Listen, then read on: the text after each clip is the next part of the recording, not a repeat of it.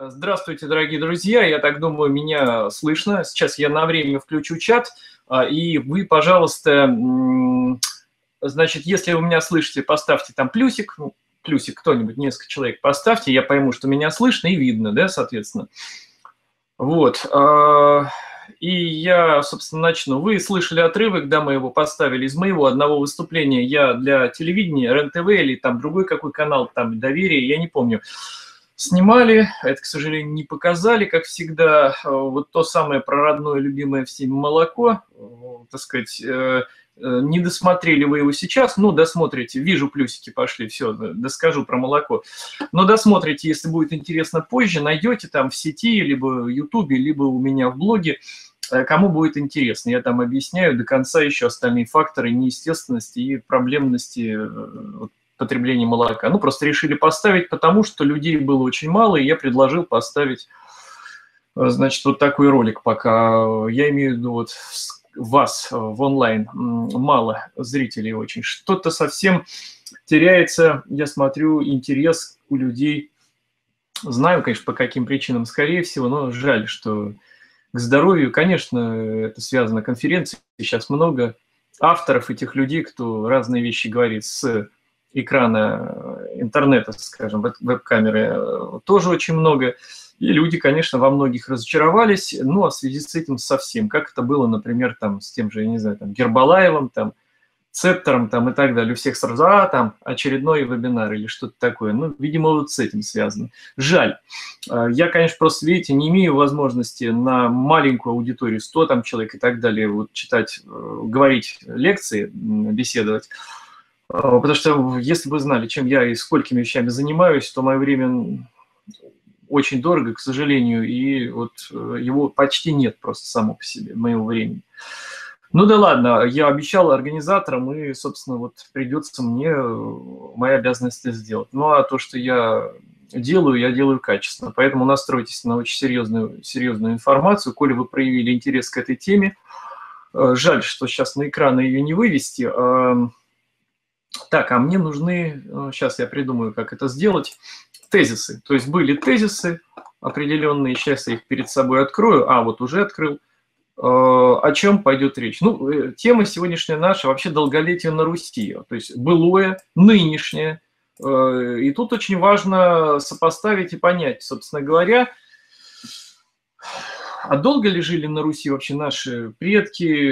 Если жили, то да, откуда тогда взялись такие вот эм, небылицы, ну, которые у каждого почему-то на слуху в подсознании, что, мол, дожили там 30-40 лет раньше вообще, мол, то есть, мол, вроде еще сейчас ничего. Не для того ли это делается, что, мол, вот 60 лет, там, какой 60, у мужчин уже там 50, по-моему, 4, сколько средняя продолжительность. Но так, чтобы это оправдать, самый лучший вариант подсунуть в сознание людей, что, ну, так раньше вообще 30-40 лет, чего ж тут, ну, так вот, да, в Японии, конечно, но другой уровень жизни там, так сказать, или еще что-то придумать. А вот в чем эти причины объективные, что в Японии, например, столько живут там дольше?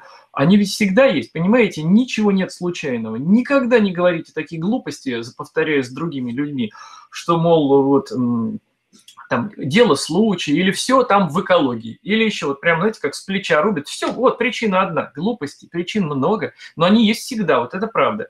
И человек не умирает от старости. Это тоже важно понять. Но не, нет такой болезни. От болезни человек умирает, а от болезни. Мы об этом сегодня как раз поговорим.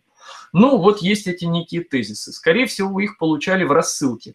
Я же, э, глядя на них одним глазом, что называется, ну, с плана, дабы не сбиться, буду как раз про это, про все вам сегодня рассказывать.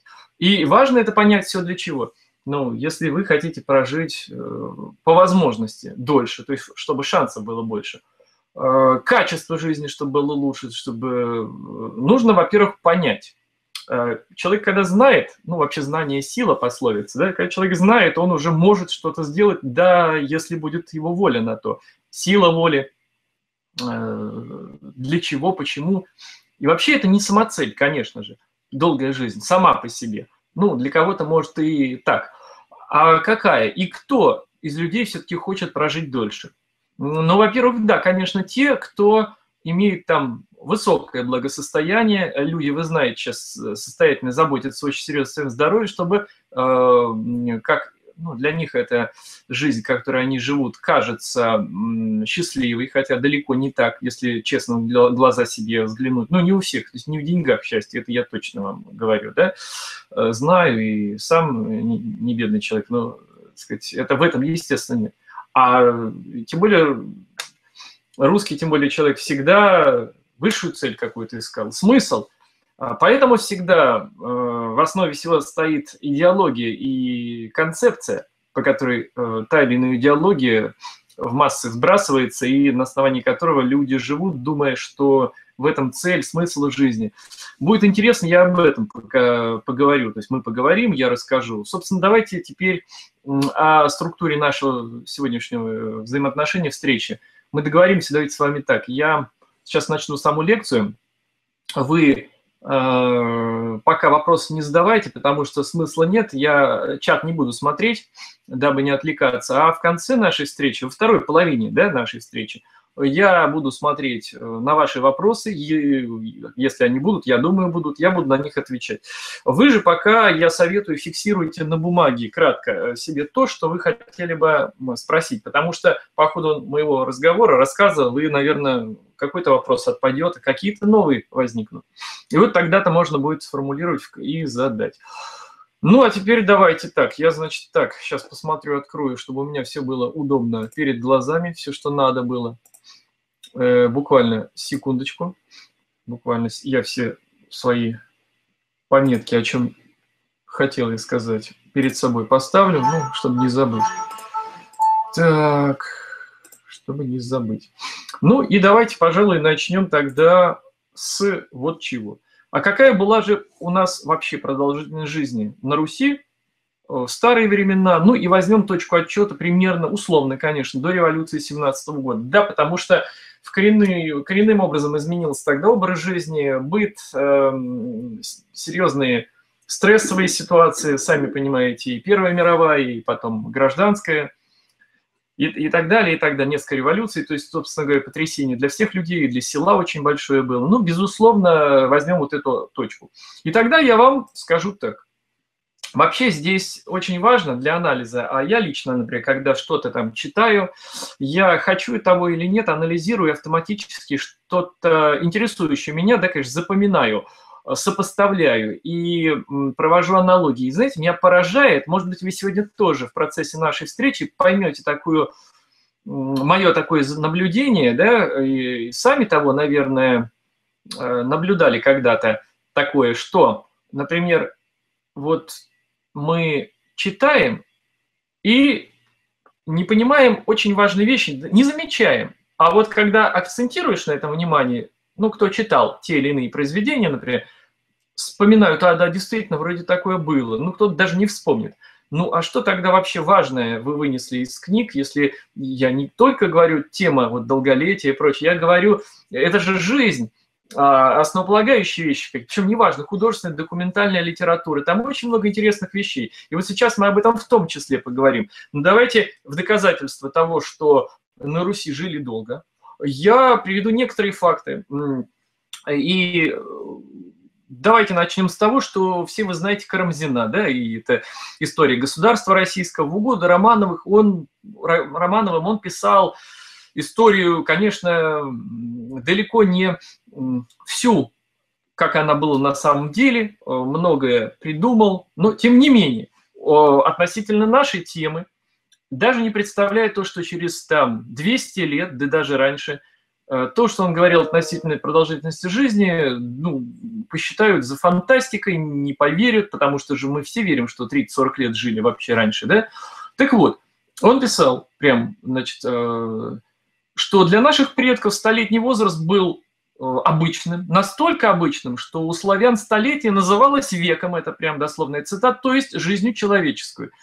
Так вот, но дело в том, что ладно бы только он, а вот возьмем, например, 1606 э, год, и была такая книга опубликована «Состояние российской державы». Кто ее написал? А написал ее такой некий капитан Марджерт – а это он поступил на службу к Борису Годунову еще. И вот в этой своей книге, он писал, помимо прочего, что многие русские, писал он, доживают до 90, 100 и 120 лет, и только в старости знакомы с болезнями, за исключением, а что разумеется, потому что умирают люди от болезни, а не от старости, за исключением царя, вот запомните этот очень важный акцент, за исключением царя и главных вельмож, никто не признает лекарств. И акцент не только на лекарства сделайте, а царя и вельмож. А, почему именно так? Вот вы пока подумайте, а мы к этой теме сегодня не раз коснемся насчет, э, и кто-то же из вас скажет, ну как же так? Вот, мол, классики описывают, дворяне, того же Пушкина вспомнит насчет, мол, вот э, старик 35 или 40 лет, да, вы можете так сказать сразу, потому что у каждого эти в подсознании, ну, как бы постулаты, вот так же, как по молоку, вот эти, что полезно, кальций, а как же белок в молоке в легко усвояемой форме и, и прочее, что плетут, э, сами того не понимая врачи, ну вот кто ролик смотрел в начале. Вот, понимаете, мы все с вами прокатились через вот эту матрицу стереотипов, догм таких вот, э, которые заучили, зазубрили со школьной скамьи, и э, мы в это верим не потому, что поняли, не потому, что осознали, а потому что так привыкли, так нам удобно, так мы хотим верить, и, или просто не задумываемся, повторяя эти глупости. А глупости очень легко на раз-два разбиваются, когда начинаешь об этом говорить и объективно, разумно мыслить. Ну вот давайте и мы будем мыслить. Итак, давайте вспомним того же Пушкина тогда, да? И тогда давайте вспомним о встрече его со 160-летним казаком, которая произошла в степях Оренбуржья, да? А, так вот, э, это было, кстати, э, он лично был участником восстания Степана Разина, то есть мы говорим сейчас не там о восстание Емельяна Пугачева, ну, условно, по официальной истории будем это называть тогда, которое произошло примерно за там 40 лет до встречи с Пушкиным, а за 140 лет до того, да, ну вот он был участником был, ему было за 160.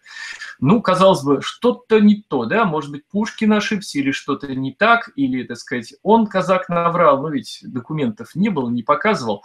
Ну, давайте дальше рассуждать, говорить. Вот можете в Александра Невскую лавру, кто, так сказать, э, в Петербурге, взглянуть там, походить, э, могилы посмотреть, ну, почему бы нет. Вот, например, монах-молчальник такой а, Патермуфий, такой был, умер на 126 году жизни. Или давайте возьмем могилу инока Авраама, прожившего 115 лет. Ну и, так сказать, даже среди дворянского сословия, конечно, были исключения. Кстати, их было очень мало, но они были – но почему среди дворянского сословия исключением? Давайте я сразу скажу. Как бы мы можем шире потом эту тему развить, но пока достаточно того, что я скажу, что, конечно, классики описывали как бы стариков, а какой образ жизни они вели, эти люди? Вот дворянское сословие. Балы, фуршеты, шампанское, фуагра, то есть питание неестественное, алкоголь, ночью не спали, а фигней занимались какой-то там, танцами крутились, показывали себя, выпендривались в корсетах, обтянутых так, что еще Радищев о чем говорил, о бледных там полумертвых, так сказать, э, дворянках, вы до чего себя доводите, и вам фору вот эта босоногая деревенская девочка даст там такого же возраста, там, так сказать, пышущая здоровьем и так далее, там, в разы. То есть э, неправильный образ жизни, неадекватный, ненормальный, приводил к естественным следствием таких извращений законов природы и нормального образа жизни, как очень-очень-очень ранней смерти и болезням ранним. Посему среди большинства дворян, да, так и было. Ну, были исключения, да. Например, э, ну, кстати, опять-таки эти исключения объективные. Давайте рассмотрим парочку, например. Ну вот, например, э, значит, известный такой Елизаветинский, Екатерининский герой еще, да, так сказать, времен, он э, скончался, сейчас я вам скажу, кто это, на 107-м году жизни, это Щегловский некий такой, э, его сослали в Сибирь, э, сослал еще Потемкин из ревности. Ну и вот он отсидел и умер в тюрьме, да, он умер в тюрьме, жил, то есть на скудной пище, на так сказать, лишениях определенных, тем не менее на 107 году жизни. А вот второй вам пример. А, то есть первый мы видим низкокалорийную, очень э, иногда и голодом морили, в общем, с малым потреблением пищи, низкокалорийное питание человека, э, дворянина, несмотря на то, что он, собственно, только поэтому и прожил столько лет. А вот вам, кстати, обратите внимание на блокадниц, там вот бабушек еще живо Ленинграда, Но тех, которые после блокады, выжили в ней, они сохранили э, вот э, очень экономный тип питания, то есть ели мало, почти не ели. Вот такие сейчас еще есть и 95, и 100, и больше лет, подтянутые, сухенькие. Одна такая вот недавно, ну, мне рассказывал, как лет 8 назад. Там э, переехала вот э, в Нелидовский район Тверской области, и вот там мне рассказывали, как за грибами 96 лет она там, ну, пошла, раз медведя увидела, на дерево забралась, ну, там день, что ли, или два посидела, там э, пошла, все нормально. То есть, ну, Э, здоровый человек в принципе. А, понятно, то есть, э, но те люди, я подчеркиваю, кто сохранил, вот потому что есть фактор низкокалорийного питания, а не так, как мы едим ради наслаждения. Это тоже фактор, который приводит к продлению жизни при равных прочих, конечно, фактор. Но давайте второй пример, который я обещал. Возьмем, например, вот, скажем, Мельников-Печерский, такой автор, который в лесах и на горах, да, а, вот, он описывал, ну, дореволюционный, кстати, по нему фильм даже сняли многосерийный, вот он описывал одну помещицу, ну, в фильме это, конечно, не показали, я его смотрел тоже, а в книге есть, вот у меня дореволюционное издание есть, он помещицу описывал на 114 году жизни. А почему она на 114, ну, неизвестно, сколько она прожила, но она жила, была нормальным человеком, обычным, ну, в плане относительно здоровым, 114 лет, да? Э, да дело в том, что она по балам-то не шлялась, а она жила жизнью крестьян в основном, но в имении своем там, в глуши, понимаете? То есть она убрала плюс к ней, чистая, естественно, как и для всех тогда экологическая, как сейчас говорит, атмосфера, обстановка, изумительные продукты питания, кстати, не доставленные в город когда-то, сколько-то полежавшие, а прямо с грядок. А, ну и прочие факторы. То есть они обязательно есть. Анализируя вообще жизнь долгожителей, а я в скором времени, ну, будет у меня такой проект, начнется, канал, может быть, отдельный даже на Ютубе, не знаю пока, но вот по как бы долголетию долгожителей, где я буду не просто, ну, так сказать, как вот, знаете, выпустили по какому-то кабельному или не по, ну, вот по «Моя планета» или там, ну, в общем, по какому-то каналу типа вот такую передачу с анализом о почему вот э, долго люди живут по разным странам мира. И у нас в стране э, МГУ, ребята там молодые аспиранты, кто там закончил, биологи, ездят, и вот там вопрос на память, это самый главный показатель э, на память, так сказать, долгожительства. Ну вот, ну и тогда. И я вижу, какие вопросы вообще они не, они не могут в этом разобраться, э, э свои задавая там примитивные 10 там вопросов, изучая, э, ну, они же спрашивают о человеке. Но что спрашивать? Ну, так не разберешь. Потому что нужно учитывать факторы, которые в голову не приходят им, к сожалению. И в силу э, той же зацикленности, что они представить не могут, что есть э, и что могут быть причины те или иные очень серьезные. Ну да ладно, идем как бы с вами дальше, да? Вот, э, ну, а что еще интересного можно сказать? Ну, я вам несколько факторов еще приведу, перейдем дальше с вами, чтобы уже у вас такая сложилось серьезное представление, ну, понимаете, понимаете, э, ну, давайте вот возьмем даже Ивана Поддубного, да, знаете, наш силач, кстати, который был вегетарианцем, а на Руси вообще очень много было веганов и, так сказать, там и, кстати, до революции было сыроедов и фруктоедов несколько там сотен кружков клубов, представляете? И книги выпускали, да, и помещики даже были, которые вот э, выпускали книги, там просто очень много все это было, конечно, не дожило до наших дней, но кое-что я у себя в блоге даже выкладываю, то есть что-то там и дожило. Ну да хорошо, так вот, дед Ивана Поддубного прожил, знаете сколько? 120 лет. Это говоря, а есть сейчас из официальных вот долгожителей ну, может быть, там один человек вроде, или 119 сейчас самый старый, как бы официально. А вот понимаете, в каждом практически селе раньше, ну практически в каждом, были люди за 110, 120 лет. И э, о чем это говорит? А сейчас во всем мире может быть один-два человека, да? Так вот, давайте об этом лучше подумаем. И когда нам говорят такие глупости, а если точная статистика, вели ли тогда учет? Послушайте, нафиг она нужна какая-то статистика, если нет, ну да, она нужна, чтобы абсолютно точные выдать а чтобы понять тенденции, чтобы понять э, параметры, как бы сопоставить.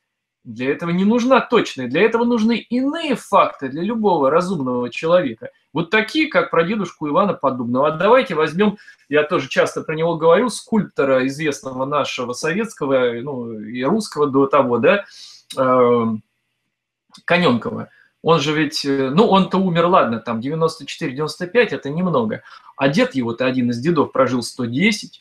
Но вы понимаете, что это уже немножко, так сказать, э, должно что-то поколебать в душе и в мозгах. Ну давайте дальше посмотрим.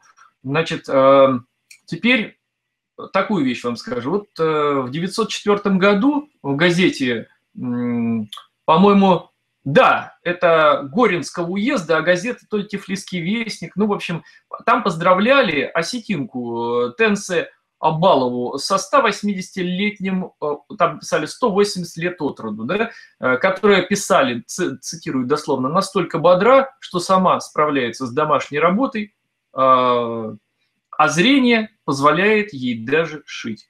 Вот. Ну, то есть она родилась еще при Петре Первом, то есть э, в 724 году. Вот, а, и это было нормально, никто этому не удивлялся. Э, я уж не говорю, кстати, о том, что когда было 1912 год, а что тогда справляли сто лет Бородинскому сражению? Так вот, к Николаю II и царевичу Алексею, да, там и другим э, царским э, родственникам э, подвели, ну, как бы показали, а еще медали вручали им, вторично отпечатали за вот э, победу сто лет спустя. Вы представляете, отпечатали медали – но об этом я вам позже еще расскажу. И вообще, что это значит, этот факт. Только не кого-то награждать, кто к этому никакого отношения не имеет, а для живых участников Бородинского сражения. Так вот, к нему привели только из казаков там на самом деле было больше человек, но э, перед ним, просто у меня видеокадры, видеохроники есть там, шесть человек было точно. Например, э, это те, кто сто лет назад воевал, не родился. Например, 139-летний Родион Медведев, например. Э, я вам могу там и другие имена, э, так сказать, привести. Ну, там, давайте это сделаю попозже. Э, Причем некоторые были прям из ближайших сел. Вот. Приехало много, а многие, большинство, ну там, не приехали по тем или иным причинам. Причем, если посмотреть кадры, это не привели на коляски, так сказать, и на носилках. А это просто такие, ну, как былинные седовласые старцы, такие, которые пришли, там, вообще без палочек даже, я там и не видел, ну, может, одного, может быть, э, значит, но в целом вот без... И кланялись там в пояс до земли, как это раньше заведено. Ну, все при Екатерине II родились. Вот так вот. Так, хорошо. Значит, и я сегодня коснусь еще обязательно темы Бородинского сражения – юбилея, и э, это для более глубокого анализа, ой, как поможет. И, кстати, к тому еще, что смотрим в книгу, видим фигу. Мы смотрим, читаем только для развлечения, что ли? Но надо же читать еще для анализа, для того, чтобы из этого унести что-то важное для жизни, ну, а не просто как, так сказать, времяпрепровождение. Это убить время называется, так нельзя. В том числе книги читать любого содержания. Вот. Это преступно по отношению к себе, к развитию, к разуму своему. Ну, так нельзя. Теперь, что касается, давай, да, конечно, мы можем взять еще регион там Азербайджана, один есть интересный такой, ну, там несколько таких регионов, но особенно а, Лирикский район. Вот там очень большое количество долгожителей. У меня, кстати, была вот такая домоработница тоже из Азербайджана, она вот нормальная, очень прям женщина, и вот она говорит, да, там, говорит, просто у нас э, так, 140-150, ну, что там далеко ходить?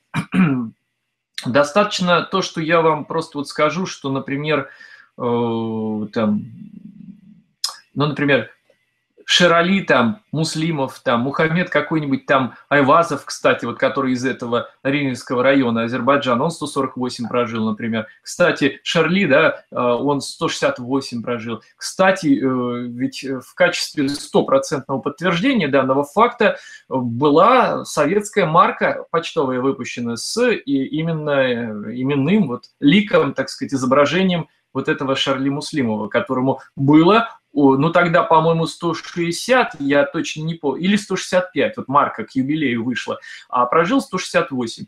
Вот. Про него известно там доподлинно очень многое, да, там э, у него было там 13 сыновей, 10 дочерей, 106 внуков, правнуков там и праправнуков, вот, ну и так далее. Там есть объективные на то причины. Объективные, определенное содержание ценных микроэлементов в идеальной дозе, там, классической, там, пропорции, как теоретические ученые высчитывают, отношение там магния к кальцию, там фосфора к э, кальцию и так далее, в зелени, которых в огромном количестве зелени, на этих уникальных именно тех почвах, то есть они уникальные либо лесовые, так называемые террасы, когда горные породы разрушаются, микропыль вот эта вот минеральная, она прям ветром заносится на какой-то, скажем, склон, горизонт, и поэтому продукты, выращенные на такой почве, это обладают, то есть они в себе содержат все необходимые микроэлементы. Теперь, не только макро, но и микроэлементы. Литий, кремний там, и прочие необходимые. Современная почва этим почти, почти лишена. То есть то, что в табличках мы смотрим по продуктам содержания, это можете забыть, это теоретически. Это было 80 лет назад. А каждые 10 лет, например, проверяют, ну, скажем, там один тот же район, место, есть такие исследования. То есть, например, там морковь, тут свекла, там другие культуры – и смотрят там, содержание реальное. 20 год столько, 40 60 80 а там и в 5 раз меньше, в 10, в 20 и так далее. А это, извините меня, не аминокислоты или белки, про которые с ума сходят неучи врачи и там диетологи. Это, они как раз все заменимы, потому что белок э, вообще-то нельзя получить, его можно синтезировать. А то, что мы с пищей получаем, он все равно, хотите вы того или нет, растительный ли это белок, животный.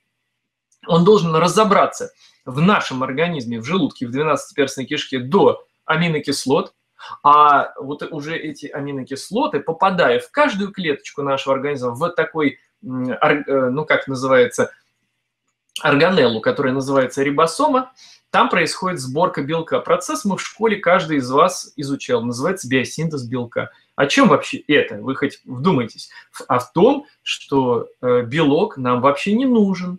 Да, нам просто этого не говорили, но вы сами подумайте, если происходит в каждой клетке сборка белка, и каждый может проверить, открыв школьный, не институтский там учебник, а что это значит? Из чего он собирается? Из аминокислот?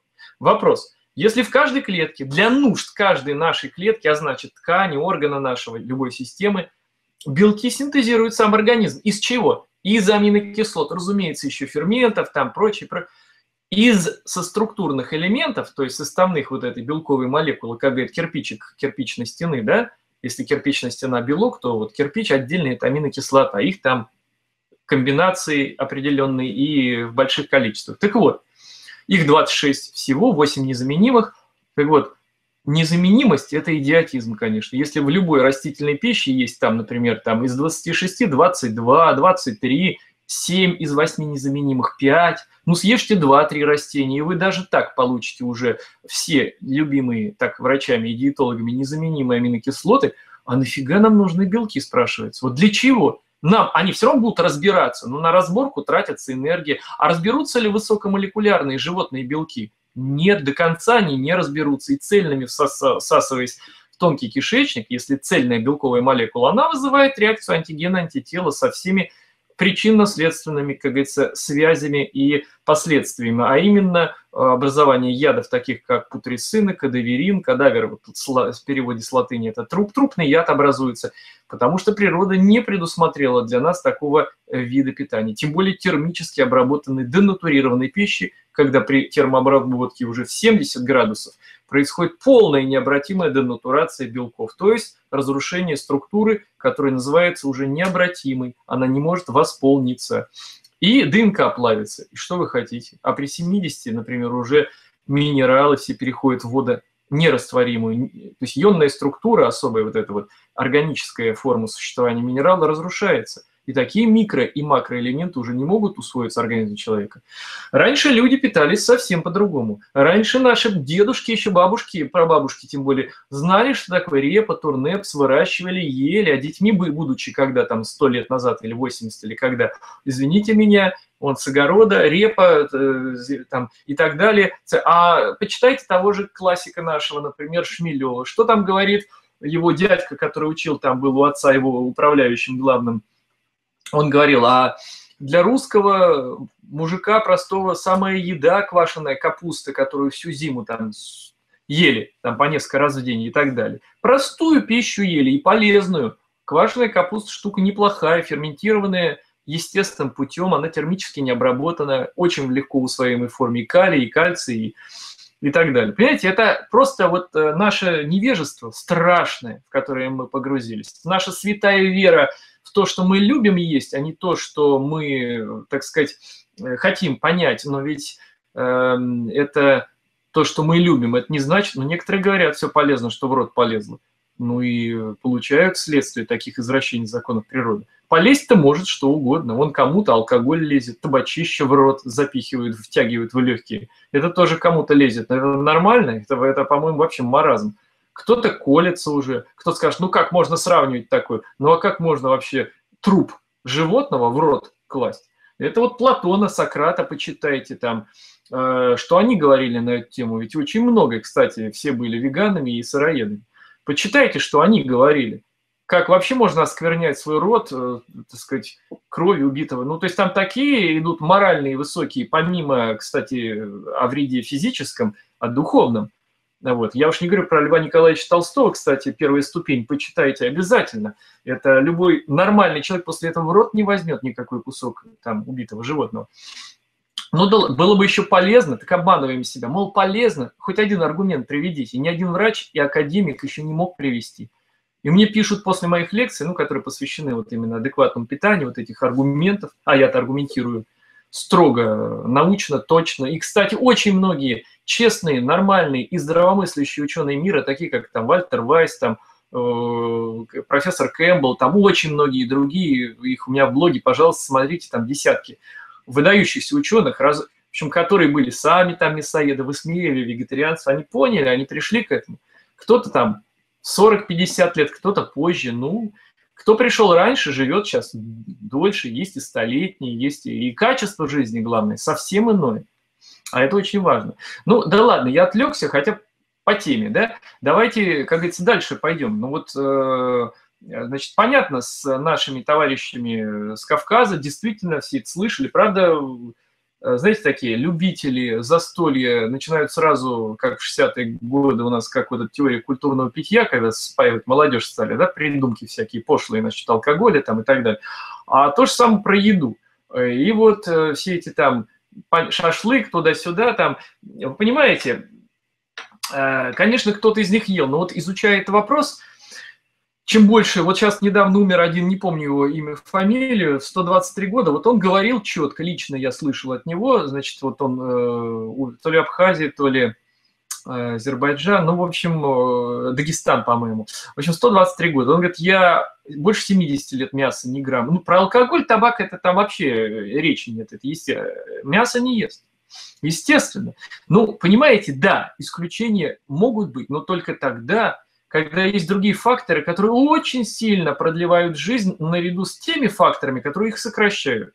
Разумеется, алкоголь, табак, наркотики, мясо сильно сокращает продолжительность жизни. Но если этот регион, где живет человек, там вода уникальная, которая обладает физико-химическими свойствами, активной воды, которая в десятки, а может быть даже в сотни раз может легче и быстрее проникнуть в клетку. Ну, например, такой параметр, как коэффициент поверхностного натяжения – близкое к 41 на квадратный сантиметр, а не 80, как из-под крана льется. Это э, в десятки раз активнее вода. Так вот тогда, конечно, человек лет на 20 автоматически проживет дольше, безусловно. То есть, а люди думают, говорят ерунду всякую начинают, значит, вот пример, о, прожил 90 лет, все, пил, курил, и я, так сказать, проживу. Да ты не проживешь и 40, может, если ты в 15 начал сейчас. Потому что десятки других факторов добавились, которые будут тебя убивать.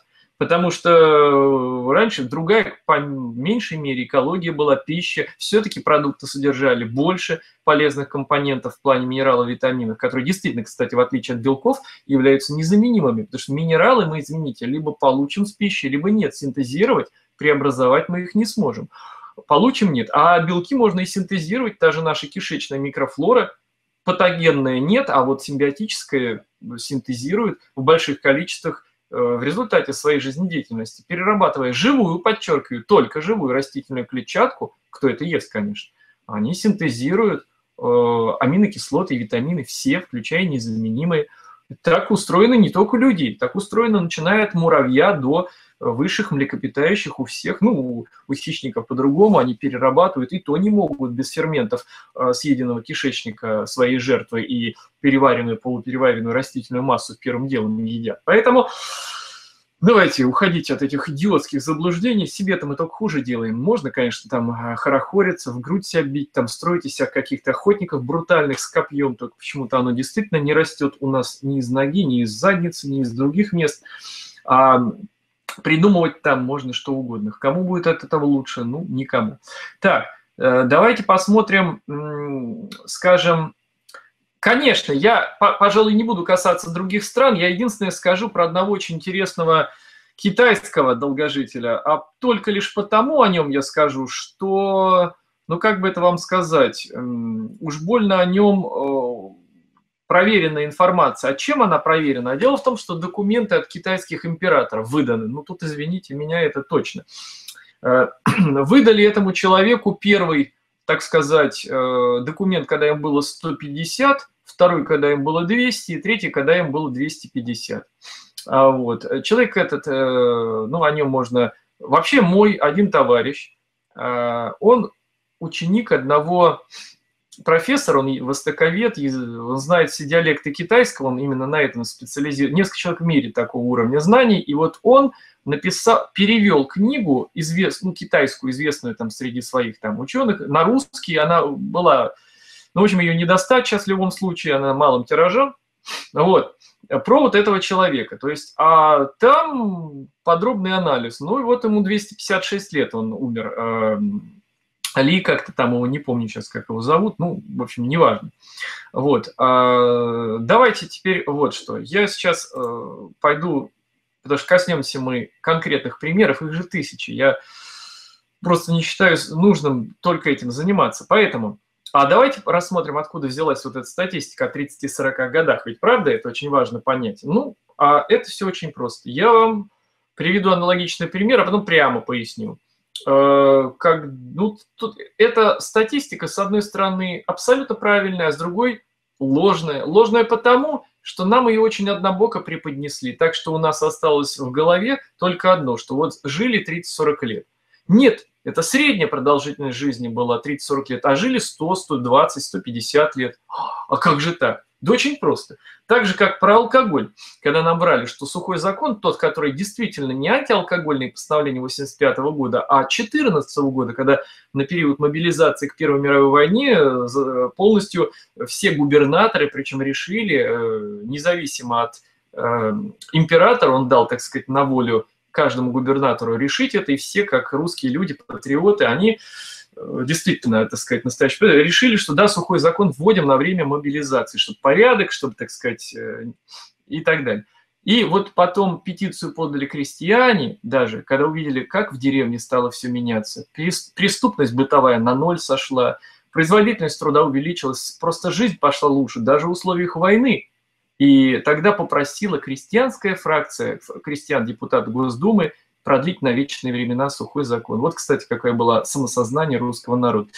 Я, кстати, извините, отвлекусь, пару слов сейчас скажу. А в 1859-61 году по всей России антиалкогольные бунты прошли за то, что детей стали спаивать, проклятые корчмы кабаки выкрывали и, так сказать, всякими методами, а методы у них давно известны, завлекать легко. И это же наркотик, только начни пить, сопьешься. Поэтому спиваются миллионы. Ну вот начали спиваться, но жили там деды, прадеды в одном доме, морду набили и, так сказать, поучили по-свойски, что, мол, ты, сволочь, делаешь хозяйство, рушишь, так сказать, это, не, не дадим этого сделать. Тогда сжигали кабаки, тоже мало, я одна, даже преподавателя в МГУ, историк, она мне сказала, я ей это рассказал, говорит, не может такого быть. А потом стала изучать, там, поднимать в архивах. Она говорит, точно, позвонила мне специально, говорит, абсолютно так, вы правильно говорите, так и было.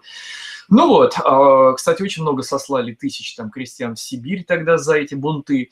И это справились с этим, было высокое самосознание русского народа, очень высокое когда не оторвали от корней, от традиции. Вот я вам говорю про тех же дедушку Иван Жили-то как все? По 110, 120, везде.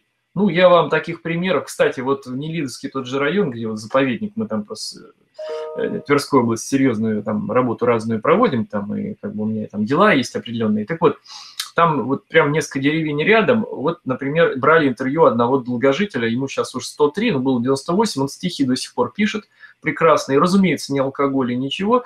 Он, так сказать, э, вот рассказывал по этому поводу, да, очень тоже хорошо на тему вот эту алкогольную, на тему, так сказать, и какие люди были на Руси, и сколько жили, и, э, так сказать, э, какой силой обладали, да, почитайте Гелеровского «Мои скитания», где те богатыри, которые, так сказать, там кули пшена или соли, там были по 12 пудов, да, кули соли, э, брали подвое, это почти 200 килограмм э, каждый мешок, то есть, соответственно, 400, и по трапу сбегал человек, да, ну, это несколько таких было там сверхсилачей. Так сейчас ну, никто не сделает, даже самые вот эти, кто самые люди сильные мира, типа еле-еле на пузатый живот камень 120 килограмм и там пытается его там переложить там на какую-то полено, да, там стоящее торцом.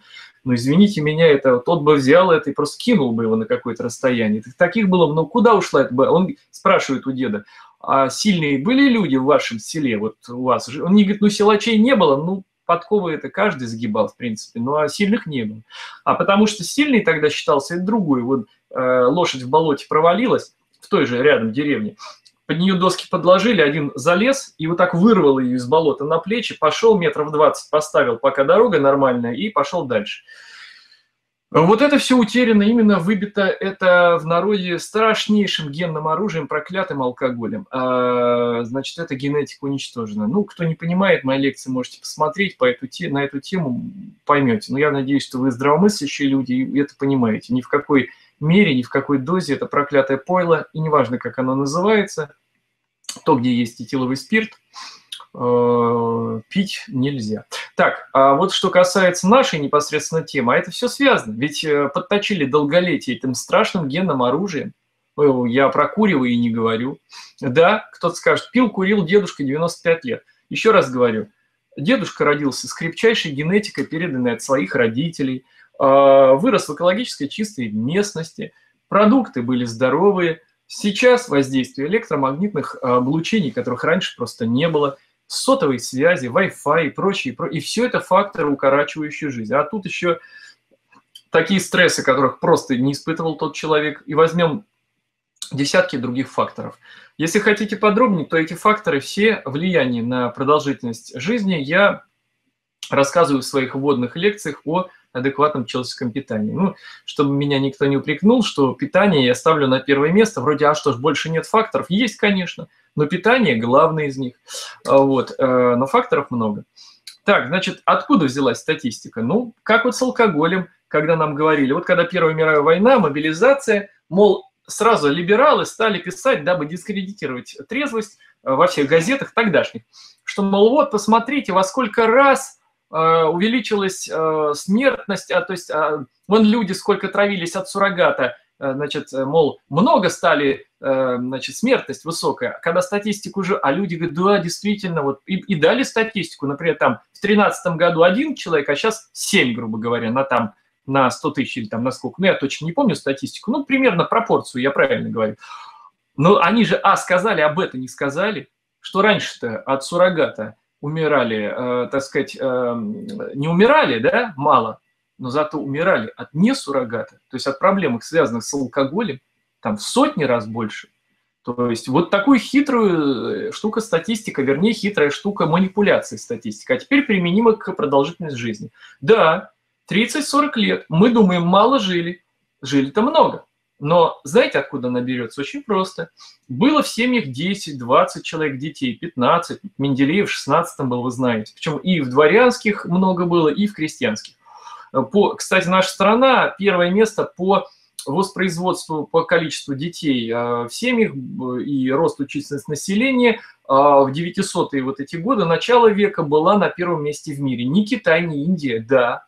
Кто не знал, не удивляйтесь. На втором месте, кстати, Германия. Вот два великих народа, сильных, на самом пике своем и надо было уничтожить хозяевам, так сказать, жизни, я имею в виду владельцам, так сказать, мировых капиталов. Теперь, что касается, а, как манипулируют статистикой.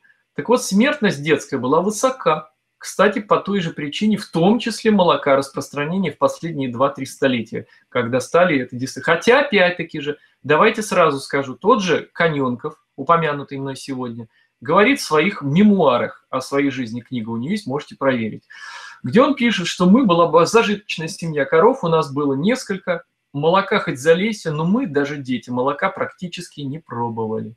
Потому что дядя все это молоко по-хозяйски, так сказать, брал, сдавал, получали хорошие денежки, потому что это все молоко шло, кто не знает, миллионами пудов в России на что? На, например, с алебастром гашеной известью смешали определенную часть творогу и, так сказать, молока, получилось очень интересный состав, которым можно покрывать балки, они практически не будут гореть. А, вот эти все дворянские усадьбы, все белые двери лакированные, это все как раз молоко, творог с другими компонентами. Вот на что, например, шло молоко. Ну, стали, тем не менее, пить. Когда стали пить, стали слизь. Легкие в слизи у детей – Любая простуда, иммунитет на нуле, сразу люди, дети умирали, антибиотиков не было. Была огромная детская смертность из-за молока, в первую очередь, не только из-за него.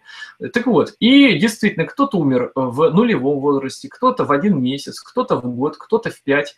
Так вот, половина семьи, а то и больше детей умирала. А вот, кстати, на одной лекции я это говорю в другом контексте, а одна женщина говорит, Юрий Андреевич, точно. Вот у моей мамы там тоже 12 или 15 детей, вот 7 там умерло вот так, ну, правильно. И вот вам, а кто-то 150-200 лет, вот вам статистика 30-40 средняя, ясно? Вот, что такое манипуляция сознанием наглядно. Теперь, ну, что касается классиков литературы, что-то я вам привел, я вам еще примеры очень интересные приведу сегодня, да? Главное уметь действительно анализировать. Что такое анализировать? Сопоставлять. А вообще зачем нам вот эти точные цифры нужны? Давайте, найдите, ну найдите сейчас. Вот я как-то интересовался в этом, в поисках набрал там в сети э, вот эту статистику, есть сайт, который видео прям дни отсчитывает, сколько там кто живет, вот из официально зарегистрированных долгожителей, да, там, и вот 109 лет, столько там месяцев, дней, минут, там есть такие сайты.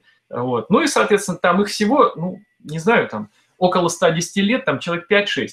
А, значит, вот понимаете, если практически в каждом селе, вот, например, в случае, э, там, Аланецкая губерния, э, Осударева дорога, когда Петр там тянул вот эти первые из Архангельска корабли, да, там, э, значит, в Балтику, значит, вот там трап вот этот. И его строили, это было там, по-моему, там 1690, там, по восьмом году, я могу ошибаться в пару лет, ну, неважно, не в этом суть, а в том, что, значит, когда в, при Николае Первом, там, спустя 140, что ли, там, лет примерно, э, стали обновлять, как бы, и какие-то работы вести, вот, э, у меня это, значит, есть тоже вот данные, не помню имя, я бы вам зачитал, просто по памяти не помню, ну, типа э, Тихона там, условно назовем, нашли, который вот как раз помогал строить эту дорогу, помнит вот того, кого на носилках, он там описывал немца какого-то там больного,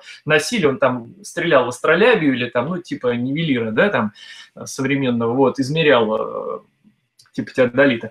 Вот, в общем, короче говоря, э, вот так-то. Ну, ладно. А вот теперь действительно вопрос. Э, ну, какие причины долгой и короткой жизни человека? В принципе, мы как бы этого касались уже, я немножко подытожу. На продолжительность жизни человека влияет много факторов. А современного человека еще больше. Если же раньше жизнь, там, прошлые века была как отец жил, дед, прадед, неизменные условия, в идеальных условиях, во-первых, это плюс, то есть это не значит, что они как бы идеаль... проблем, войн, горе у народа было всегда много.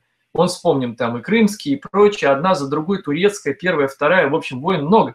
Дело не в этом. Не было этих извращенных, как кусок там достать, э, так сказать, хлеба и так далее. Люди э, чувствовали себя, крестьянство, 95% населения страны, э, достаточно даже в крепостное право свободно, потому что они знали и рассчитывали на свои силы. Они знали как бы правильный порядок этой жизни, что, ну, что посеешь, что и пожнешь, то есть хозяйство. И это и есть свобода в какой-то мере.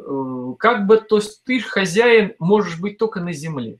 Все остальное – это дело случая, это, так сказать, единичные случаи, это не система. Система – это естественность, когда ты э, можешь э, творить что-то на Земле, то есть руководить процессами, управлять ими, созидать сам лично. Вот тогда появляется огромное мощное чувство, э, это не каждый может понять, почувствовать только, каждый может на себе. Вот, как бы это сказать, такого, ну что ли, стабильности, такой э, чувство хозяина, чувство свободы, вот это, потому что ты близок к природе, природа только может нам дать вот это чувство. Все остальное суррогат. Это попытка себя как бы, ну, как бы сказать, обмануть так в данной ситуации, мол, ну, ничего, жизни, да, и живут и хуже, а я с утра до ночи на работе нелюбимый, прихожу, это идиотский какой-нибудь там телешоу или что-то еще, и завтра день также, и детей к этому готовлю. Это же самоубийство, медленное, главное убийство детей, что жалко, не будет у них альтернативы более счастливой другой. А счастье без эм, гармонии с природой вообще невозможно. Это абсурд, потому что мы часть природы. И такова наша просто судьба по своему определению, по созданию. Вот об этом надо подумать. Так вот, факторов очень много. Бетонные, железобетонные коробки, которые экранируют полностью э, магнитное поле Земли, вот это, да, там 86 Герц, которые, э, да, по которому человек должен, что называется, ну, я так босиком ходить, утрированно скажу, но, э, то есть вот эта постоянная связь. То есть мы живем в мире, где все проходит пища через там многочисленные обработки, переработки, даже сухофрукты, казалось бы, а он диоксидом серы обрабатывает. Это влияет все? Конечно, влияет. То есть факторов очень много, каких раньше просто не было. И ничего, сохраняли сухофрукты. Я просто поражаюсь. Вот э, действительно полное ощущение, что все это делает проклятое вражье для того, чтобы просто народ уничтожить. Там, понимаете, ну жили раньше вон вазами, все было, все хранили, я не... Понимаете, вот академик Исаев, например, да, получил сталинскую премию, не просто так не давали, и золотую медаль Мичурина за сорт «Московское позднее яблоко», яблоко там 40, по-моему, в 7-8 году. А, ну, за то, что это яблоня там держала огромные морозы, что потом было подтверждено в 1975 году, когда минус 45 стояло, да, там все потрескались, а кто урожай не дал, а эти дали столько же урожая, сколько и в другой год. Так вот, э, дело в другом. Это яблоко хранится, ни одно генно-модифицированное э, дерьмо, извините, сейчас только даже не пролежит. Хотя вы понимаете, что оно пролежит там он, полгода или год. Так вот, сорт московское позднее яблоко, да, а, у академика Исаева, который он создал, хранилось два года, до двух лет. Это сорт старый селекции. Вот на что способен разум человеческий, труд человеческий. И спрашивается, зачем это все надо? Только для одной цели. Нет, де-факто там это только для одной. А де-юра вот болтать могут что угодно. А, нам болтают все для вашего блага, да хрен там. Это для их блага, а для нашего уничтожения. Только так будет, по-другому не может быть при этой господствующей системе, я имею в виду мировой, да, вот этой вот вот этой гонки потребления, этого господствующего единственного цели человеческой, навязанной наживы и быть э, круче других, пройти по трупам других, а не человек человеку друг и товарищ, а корм. Ну вот с этой идеологией, конечно, мы далеко не уйдем, и тогда нечего удивляться. Все было, все есть. Ничего нового, и никакие новые технологии не помогут лучше накормить. Какие там благие дела? ГМО только для одного – для того, чтобы в руках держать э, не просто бизнес, как некоторые примитивно могут мыслить, а контролировать численность народа населения, в том числе через это экономику и политику, через полное, так сказать, э, регистрирование вот этих вот своих выведенных уже, так сказать, генных продуктов, генной инженерии, Потом дают фермерам, фермеры выращивают урожай, оставляют часть, чтобы семена проросли. Ну, как всегда, они не прорастают, например, а там можно по-разному изменить. И так, и сяк, ну, допустим, как с индийскими многими фермерами сделали. И потом они вынуждены покупать, уже денег нет, это в помойку брать в кредит, в долг у тех же компаний. И это рабство, и будут пахать на них. И выращивать то, что они дают. Сами у них, они питаются, это верхушка, продуктами другими. Ну, это я просто к частности, опять-таки отвлекся, хотя, думаю, вполне полезное мое было отвлечение, да, э, так сказать, не зря я тоже это сказал. Ну вот в, в итоге факторов много. Так что забудем об этих глупостях, что дедушка, бабушка там 90 лет, там Черчилль там начнут сейчас умничать, 92 года там 3 прожил и пил, курил. Ну что вы, неужели настолько люди глупые? Вы-то, я думаю, не глупые, но кто-то такое пишет в, в, в чатах. Знаете что? Что вот и действительно на полном серьезе, мол, и что он этим хотел? Что ты хочешь этим сказать? Что, мол, ты будешь пить курить 92, да хрен там, ты там 30-40 проживешь, если тебе сейчас 20, ты дурак такой говоришь. Потому что если бы Черчилль не травил бы себя этими страшными ядами алкогольными, табачными и другими, ну, значит бы он прожил, например, как где-то Ивана Поддубного 120, а может быть больше прожил бы 130, потому как у него задел, его личный запас прочности был очень велик. Ну неужели это непонятно, что есть факторы, которые укорачивают жизнь, которые удлиняют? Ну что а вы все, извините, второе, третье, четвертое поколение, там уже это, так сказать, там делите наполовину, минимум. А кто начал пить, курить там с 13 лет, ну, допустим, сейчас, то все, там, 35 лет предел. Он мой друг не пил, не курил, а умер э, по вполне понятным. Там был серьезный ишемический, нет, геморрагический был у него к мозг инсульт э, от того, что он практически не пил воды ел все эти колбасы химические, хлеб и всякую гадость, булочки калорийные, воды практически не пил, пил лимонады, газировки, кровь густая, еле сердцем проталкивается, давление все время высокое, как следствие, там, понятные камни в желчном. Да? То есть вот вся картина для меня, она вот как вот открытая книга азбуки. Да, вот, это примитивно все. И, соответственно, вот, э, там буквально там до 40 лет не дожил, умер, вот, к сожалению, большое горе было и для меня, и для родственников, для всех. Но это, вы понимаете, это же сейчас сплошь и я, я сплошь и ряд, каждый день чуть ли не от кого-то, что он в 30-40 умер. Забудьте о дедушках, все. А кто такую глупость в очередной раз, чтобы себя обмануть так дешево, обмануть, дабы, мол, оправдать свою любимую куриную ножку или там алкоголь или еще что-то, ну вы этому идиоту скажите, приведите эти слова. Может быть, поймет, не обидится на то, что я его идиотом называю. Нет, умный человек, нормальный, не обидится, он скажет, да, идиот, ну, я тоже был идиотом, но я, правда, никогда не пил, не курил, то есть ни грамма в жизни, но мясо ел, ну, так сказать, ну, хоть и вот биолог сам и всю жизнь занимался этими вопросами, исследователь, там, но, но и я прокатился через эту матрицу, что вы думаете, так сказать? Не от рождения я такой вот, так сказать, э, с пониманием вышел. Я просто потом осознал это, пропустил через разум, а не через веру. И все на место встало. Так, идем дальше с вами. А возможно ли современному человеку, спрашивается, прожить 120 лет? Что для этого нужно сделать? Вы знаете, в принципе, а, это, конечно, много для современного человека, но, в общем-то, возможно.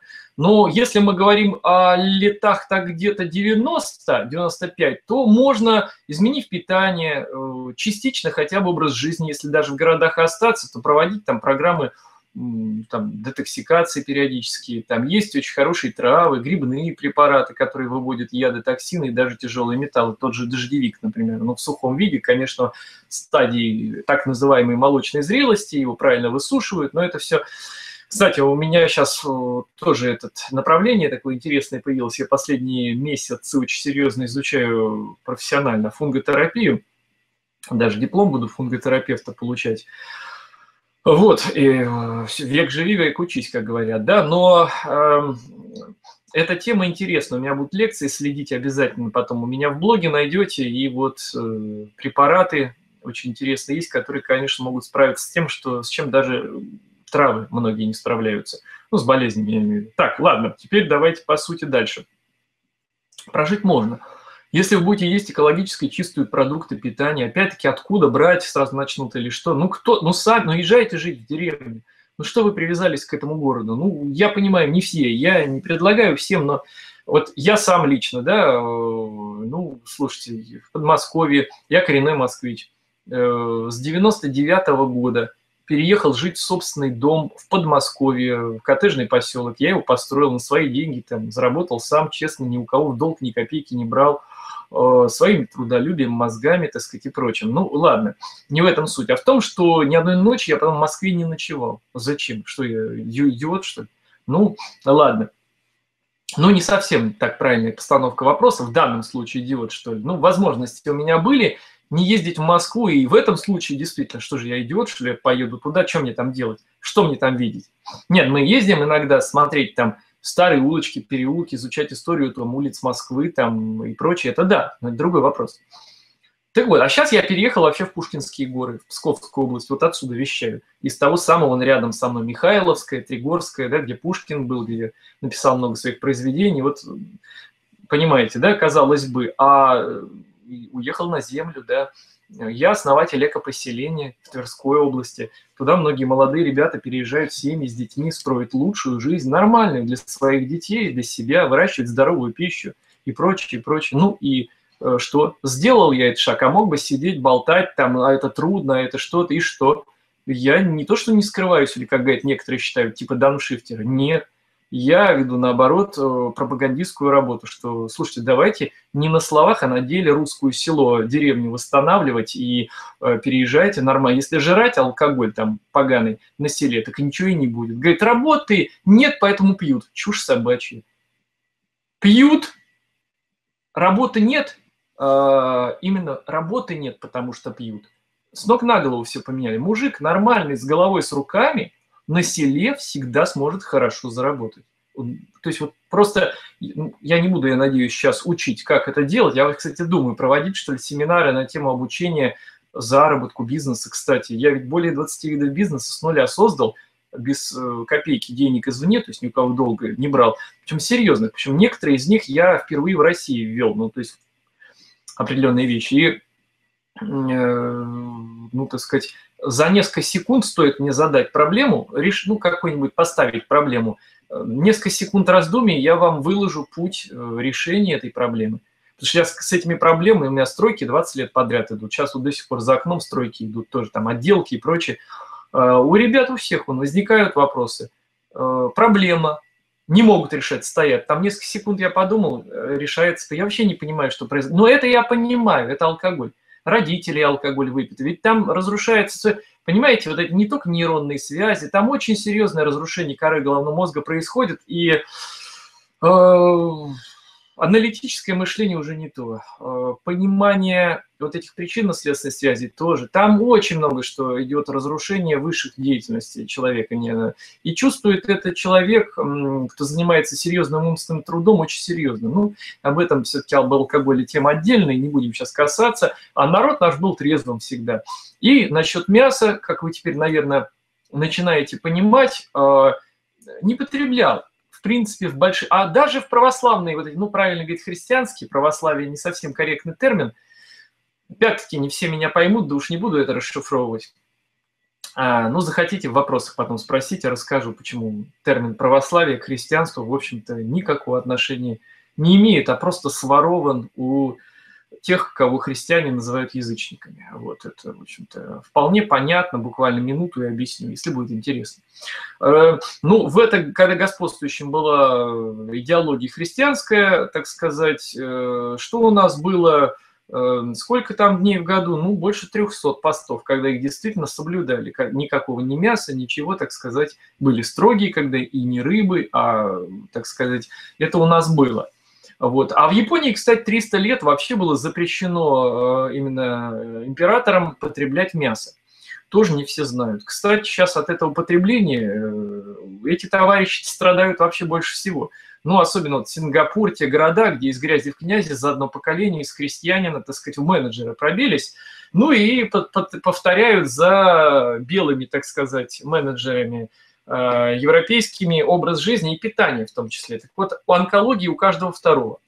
Вот в Гонконге, Сингапуре, да, у каждого, в городах крупных, у каждого второго. Это мне просто вот люди, которые вот знают эту проблему, у его партнера, одного моего знакомого партнер, у него тоже рак, вот он изнутри эту ситуацию. И ничего удивительного, ну, почитайте книгу профессора Кэмпбелла, поймете, так сказать, китайское исследование, что, пожалуйста, он исследовал э, более 50 лет всю эту проблему, начиная с Филиппин и вот до США, так сказать, обследование там 10 тысяч медсестер, там среди медработников очень интересные данные. То есть, ну, все будет понятно.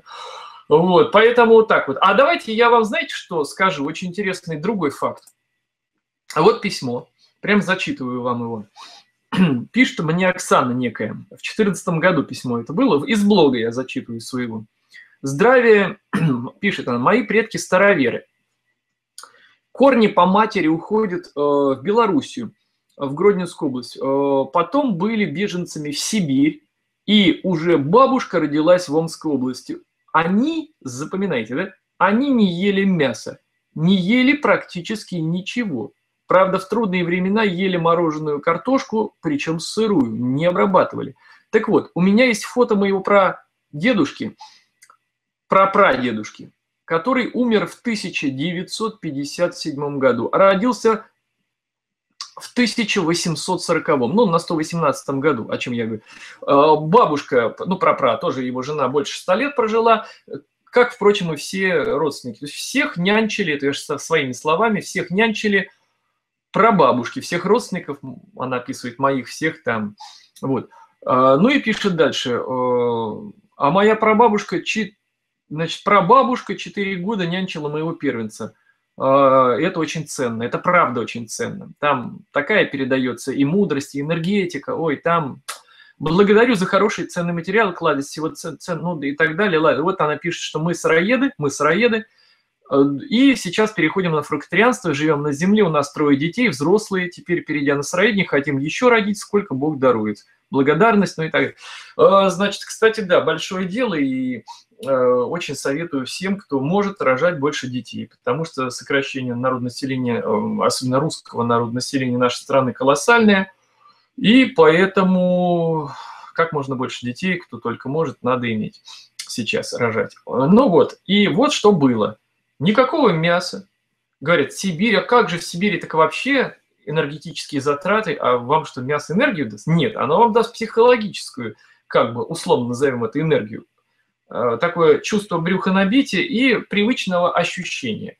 А привычное ощущение, слушайте, это собака Павлова, обращайтесь к рефлексам, и вы поймете, что это всего лишь рефлексы на то привычное, но тут еще другое, тут идет биохимия, потому что паразитические Патогенная микрофлора, она в нас есть, и благодаря ней мы сразу не умираем от потребления мяса, от отравления всего организма, они перерабатывают частично, и частично выделяют нам в том числе аминокислоты, но и яды, трупы, трупные вот эти токсины, вот. Но, тем не менее, да, мы в какой-то мере приспособились условно вот к этой ни шатка, ни валка, на этой пище существовать, однако мы убиваем себя. Кто-то быстрее, кто-то медленнее, но кто ест мясо, умрет от рака всегда, если раньше он не умрет от других болезней.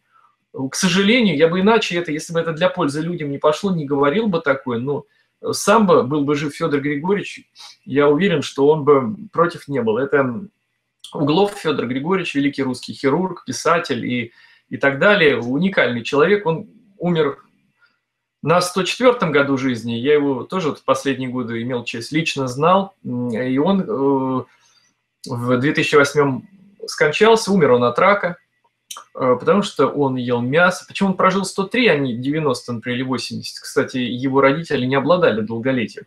Потому что этот человек вел определенный образ жизни. Он ел мало, выходил из-за стола, мать еще приучила не, не, чувством голода небольшого.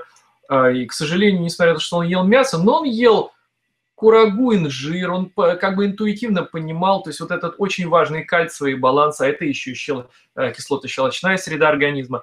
Но постепенно питерская среда, кислая вода, там 6 pH, э, с низким, ну, и содержание минералов это так и должно быть, а вот то, что она кислая, плохо. И все-таки творог и прочее, и привели к тому, что, собственно, о чем я говорю в своих лекциях, сейчас об этом нет смысла говорить, посмотрите, если будет интересно, про то же молоко и так далее, про водные лекции мои.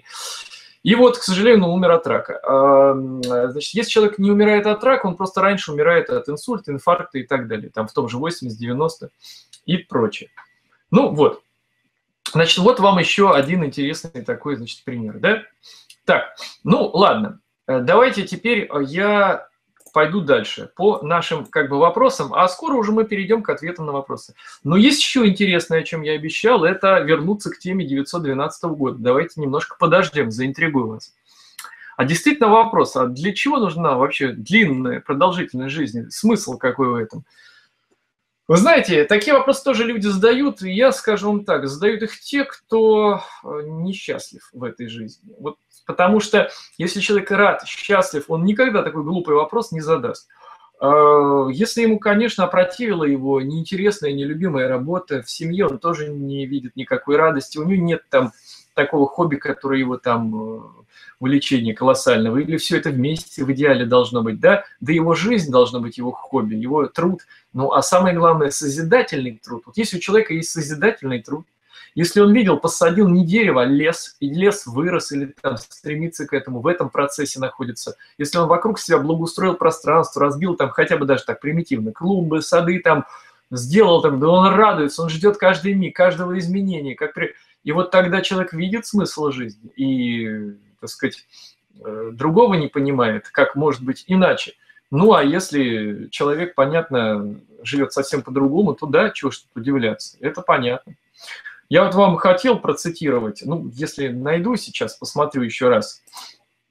Интересное там высказывание одно, э, когда про долгожителей какой-то, ну, вот в Псковской области я, например, э, кое-что изучал, ну, не найду своими словами, сейчас скажу, просто хотел, как говорится, ближе к тексту, да, а вот нашел. Вот 1 июля 1908 года родился такой Алексей Яковлевич Э, в Великолукском, Великие Луки, город, ну, в районе, в деревне Борки. Семья была, так сказать, большая, э, у него тоже, значит, с первых дней Отечественной войны ушел на фронт, воевал в пехоте, пешим дошел до Берлина, был ранен, был в плену. После войны вернулся в родные места. Кстати, насчет того, что сразу посадить должны из плена, там, то, что ахинею сейчас там несут нам. Вот. И всю свою жизнь проработал на земле, в колхозе на пенсии, на личном подвое, в своей близости к земле, неустанном труде и удовлетворении в этом, которое проносит, приносит крестьянский труд, Алексей Яковлевич видит главный секрет своего долголетия. Вот в данном случае вот этот дедушка совершенно адекватно оценил э, свое, так сказать, вот долголетие. То есть он просто любил землю, он в этом видит себя, и он постоянно, и вот пишет, что даже сейчас, весьма немалые годы, Э, предпочитает, чтобы большая часть его еды была выращена своими руками, своя, не магазинная, ну, как цитата э, его. Что тут сказать? Э, анализируя всех долгожителей, кому так сильно, ну так, за 100, и они крепкие, сильные, я вам скажу так, никакого алкоголя и табака, своим трудом всю жизнь трудятся, не лентяйничают, не лежат, а работают на земле, едят со своего огорода. Там уже животных никаких. Какие там животные, так сказать? Ну, опять-таки, прожил бы дольше, если чего-то даже употребляет. вот. А вижу, анализируя, например, вот бабушка одна, тут, тут 94, она уже очень плоха, там все, ну, вроде 94 много. Но я смотрю, что она, какие у нее артрит, прочее, смотрю заболевания, что она ест. Сейчас она с магазина, с лавки эту гадость всякую покупает. Объективнейшие причины. Я вот прям, что называется, бери и составляй. Ну вот я и хочу составлять вот эту вот аналитику, чтобы те, кто не может сам анализировать, не умеет, вообще не понимает, ну хоть бы прочли и поняли бы все. Ну ладно, идем тогда дальше, да? Вот, э, вопрос был, для чего жить вообще? Странный вопрос, да, я уже говорил. И, в общем, я так скажу философски глобально. Вообще, человек, что такое человек? Этимология слова – чело, данное на век. Ну вот на этот век – такой век это не 100 лет, все-таки а 144 года, но это как бы уже тема глубокая, такая ведическая. а, но дело не в этом. А потому что раньше в сутках другое количество часов было, и как бы, в общем, 144, на самом деле, век – это 144 года. Лето, вернее, правильно, годы – это, это немецкое слово «год», там «бог». «С Новым годом вас!» – сказал Петр Первый в 1700 году, перечеркнув наш старый календарь. А, Калиды-дар, да, ну вот так вот, ладно, об этом тоже не будем. И вот что происходит дальше. Дальше происходит следующее. Мы являемся по образу и подобию, правильно, я есть не тело физическое, а живатма, живая, единая, неделимая частица Всевышнего – то есть сотворенная его же и им же часть, которая исследует этот мир путем вот этого взрыва большого, как ученые говорят, то есть расширение галактик, создание новых, а потом сбор идет, сжатие, когда он распознает плоды своего труда, каждым из нас.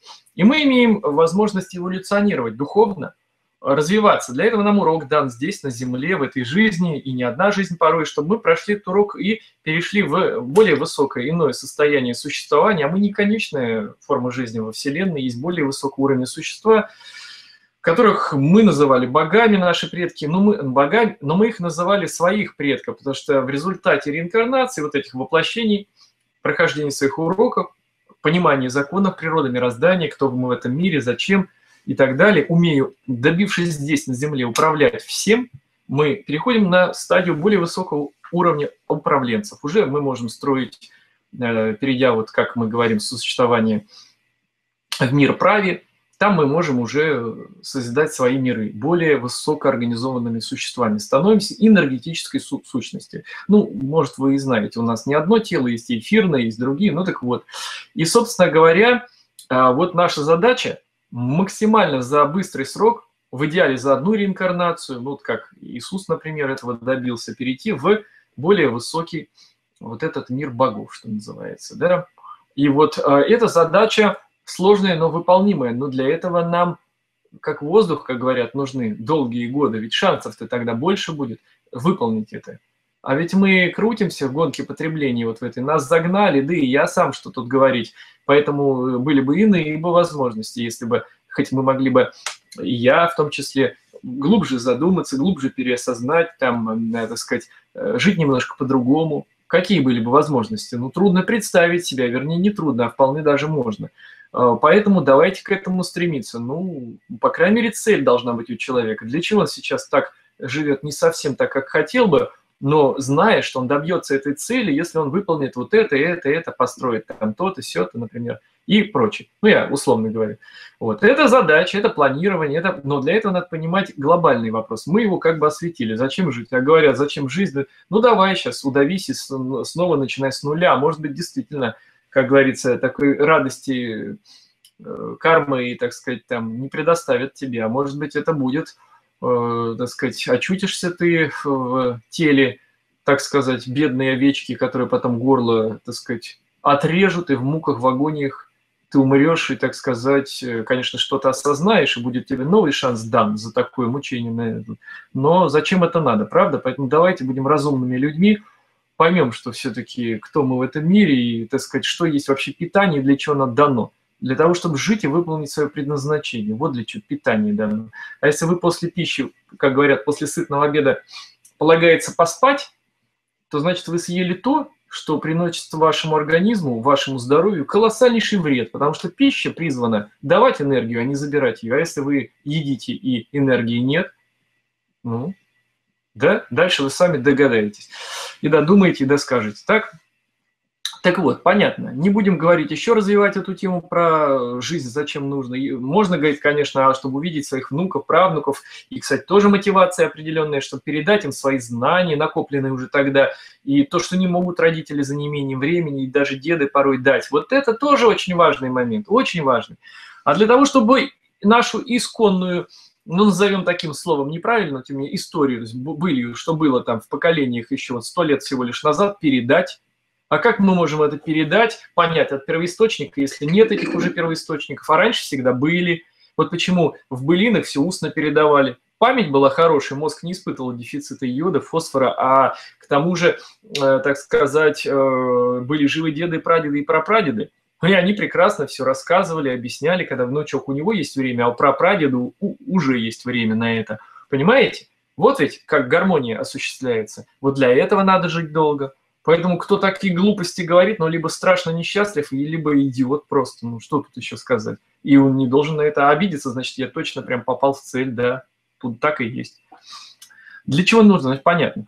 Можно ли долго жить, не болеть и, и не быть немощным? И вот, кстати, ведь многие болезни ассоциируют, вернее, говорят, старость, это, значит, что же мне быть, кровати прикован? Тоже идиот говорит. А почему такие извращенные какие-то ассоциации? Причем тут возраст – там 100 лет, 120 и какая-то там кровать прикованная.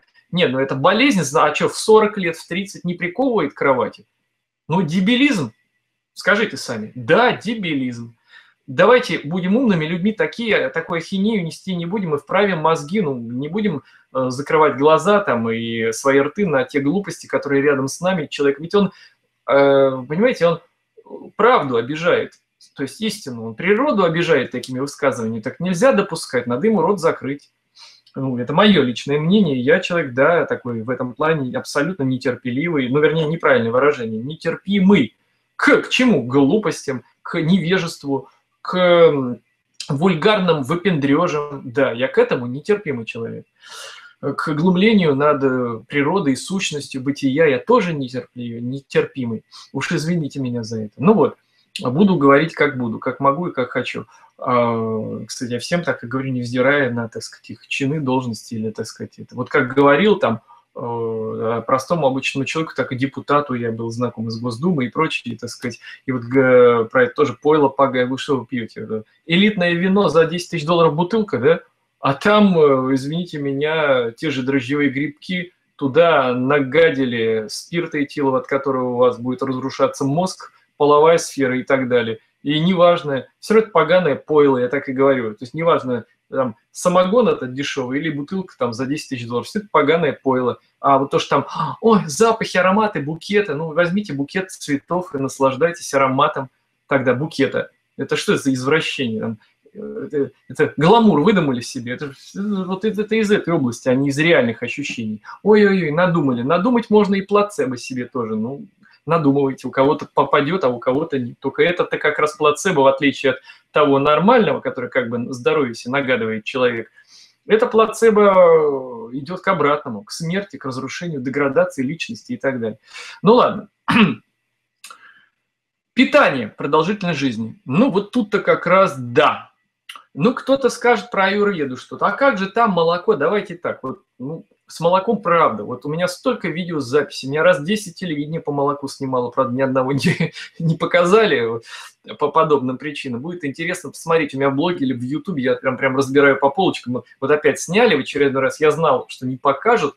Я как бы до того, как э, выйдет, э, говорят, вот такого числа будет передача смонтирована. Я говорю, ну, посмотрим. А я за, за неделю, за две там ролик выбрасываю в интернет. Вот я говорят, что покажут в этот раз а я сам еще параллельно снимаю и вот выложил. Вот давайте посмотрим. Там, ну что, вышло, не вышло, люди смотрят и, конечно, говорят, ну понятно все, с телевидением, с этим, ну, не дадут им показать это, и естественно. Вот, а теперь давайте я вам вот такую книжку покажу. Данила Гранина, автора такого наверняка знаете, его роман, рассказ «Зубр» называется. Что я вам об этом хочу сказать? Помните, я касался 1912 года, когда отмечали 100 лет Бородину. А теперь внимание, а, и мы с вами поиграем в такую маленькую викторинку. А, ну, это будет как такое завершение до ответов на вопросы, до самого интересного, да? Ну, в общем, я вам вопрос задам, а вы ответите в чат. Пока не отвечайте, потому что пока я вопрос не задавал. Так вот, автор Данил Гранин. Название «Зубы». О чем там речь? Ну, там о многом речь. Он встречался с разными учеными, там, Вавилов, там, Эйнштейн описывает, там, прочее. Но он встречался с интересным таким ученым, биологом, генетиком Николаем Владимировичем Тимофеевым Раевским. Так вот, ну, ясно, что то, что я говорю, а я все, что говорю, он легко проверить, посмотреть. Но почему это интересно? Сейчас поймете. В книге э, вот этой истории встреч с разными интересными людьми он описывает особо вот этого человека. Собственно, Зубр – это его второе имя, да, то есть Тимофея Вороевского. И вот он описывает то, что этот человек, э, дворянин в прошлом, ну, то есть он родился там, понятно, до революции, и в своем имении своего отца, деда, прадеда, э, значит, какое-то время жил, и он описывает там такой интересный случай. 99,9% людей, конечно, читала, кто читал книгу, даже не помнит, о чем я... Ну, кто-то вспомнит, скажет сразу. А я вот говорю, что ж такая за манера, ну почему она? Очень важные вещи не замечать и мыслить над тем, что в принципе для жизни не важно. Вот тоже, да, стоит над этим подумать. Ну так вот, и он описывает трех друзей, э, трех товарищей, трех людей, стариков, которые жили в имении уже на правах уважаемых людей, как говорится, на пенсии – Э, значит, в имении вот отца. Все они трое из этой местности, ну, считайте, из одной деревни, давайте так, для простоты понимания, э, участвовали в войне 12 -го года, 812 ну, им было, значит, за 125-30 лет. Вот, родились они при Екатерине II, понятно, и вот уже почти революция, потому что он описывал где-то это не в 12 даже году, а где-то в 15 16 ну, прямо вот перед э, революцией. Вот. И им прислуживала такая, ну не помню там, как зовут, но будем там Нюра, например, условно говорить. Э, они ее девкой считали и называли, ну вот он прям описывает, там, ну помогала им там в хозяйстве, значит, они там истории жизни рассказывали, значит, вот, э, ну потому что она для них была девка, ей было 80 лет. Ну, молодая, ну, внучки годится, ну, внучка, ну, внучка, поэтому она Нюрка там и бегала. Значит, вот. А они э, не просто, а как это интересная история, он там еще о чем говорит. Вот выпустили медали, я, кстати, об этом говорил. Медали к столетию живым участникам, а их напечатали целый тираж. А потом это только, когда проверять стали вот в Эрмитаже, сначала даже они забыли об этом, там э, специалисты, историки, архиваторы, а потом отрыли, да, действительно. Вот. А теперь представьте, но это как бы поощряли, ну, как бы знак почета, там такие особые слова были, что вот, э, ну, что Родина помнит, действительно, так сказать, и героизма, проявления, да, такого. Вот выпустили для живых участников. Их было много. А, теперь, а, вот забегаю я вперед. Ну, давайте сами рассуждать, без всякой статистики. Вот одна деревня, еще один пример. Ну, я уже сегодня приводил. Людям 125-130 лет. Три человека в одной деревне. А, давайте так, напишите в чат, о чем это говорит? Вернее, какой вывод можно сделать из этого? И, из этого факта. Какой вывод из этого и других подобных фактов вы теперь можете выявить относительно э, того, что как мало там, ну, ну, сами сделайте вывод, просто напишите, пожалуйста, просто интересно мысли, да? Ну, какой, о чем это вообще говорит? Вот в одной деревне, уже подсказываю, как говорится, в одной деревне три человека в возрасте 125-130 лет – это не где-то один там в Сингапуре, второй там в Перу, а третий э, где-нибудь там на Камчатке, да, это вот три из одной деревни. А я вам приводил там, их масса, их, я не знаю, по... захотите еще расскажу какие но смысл. Это было вот еще недавно. Были люди, вот, которые просто описывали, а вы знаете, сколько таких, по, почитайте книги, да везде. Просто вы это не помните, это страшно, и ну так нельзя. Ну о чем это говорит? Ведь из этого не просто вывод надо сделать, который я вас прошу, а еще и другие выводы, уже второстепенные, которые будут после анализа вот того, что я сейчас о чем говорю. Так, а я сейчас попытаюсь открою чат, вот, и э, обновлю страничку и посмотрю, что вы пишете. А мы сейчас, кстати, сделаем такой интересный перерыв, но не совсем перерыв, а, так, а ну-ка, ну пока вы пишете, в общем, какой вывод из этого можно сделать, да? Теперь давайте дальше. Давайте сделаем так. Пока вы пишете, прочее, а, а перерывчик будет вот какой, рекламный. Рекламная пауза. Теперь, дорогие друзья, я возвращаюсь, э, рекламная пауза кончилась. Я еще раз на всякий случай перезагружаюсь и смотрю. Да, были люди, пишут в это время, ну да, перефразируя Пушкина. Значит, так, кто-то пишет «Добрый вечер», это кто-то присоединился, видимо, смотрит в записи э, эту, так сказать, нашу встречу, потому что сейчас в прямом эфире, так сказать, 21 час 01 минута, 17 э, декабря. Так, ну ладно. Как питаться? Вот, тут уже вопрос, как питаться при беременности и так далее. Э, можно, я попытаюсь сейчас то, что ближе к теме. И, кстати, вот вы пошли уже, товарищи дорогие, пишите вопрос.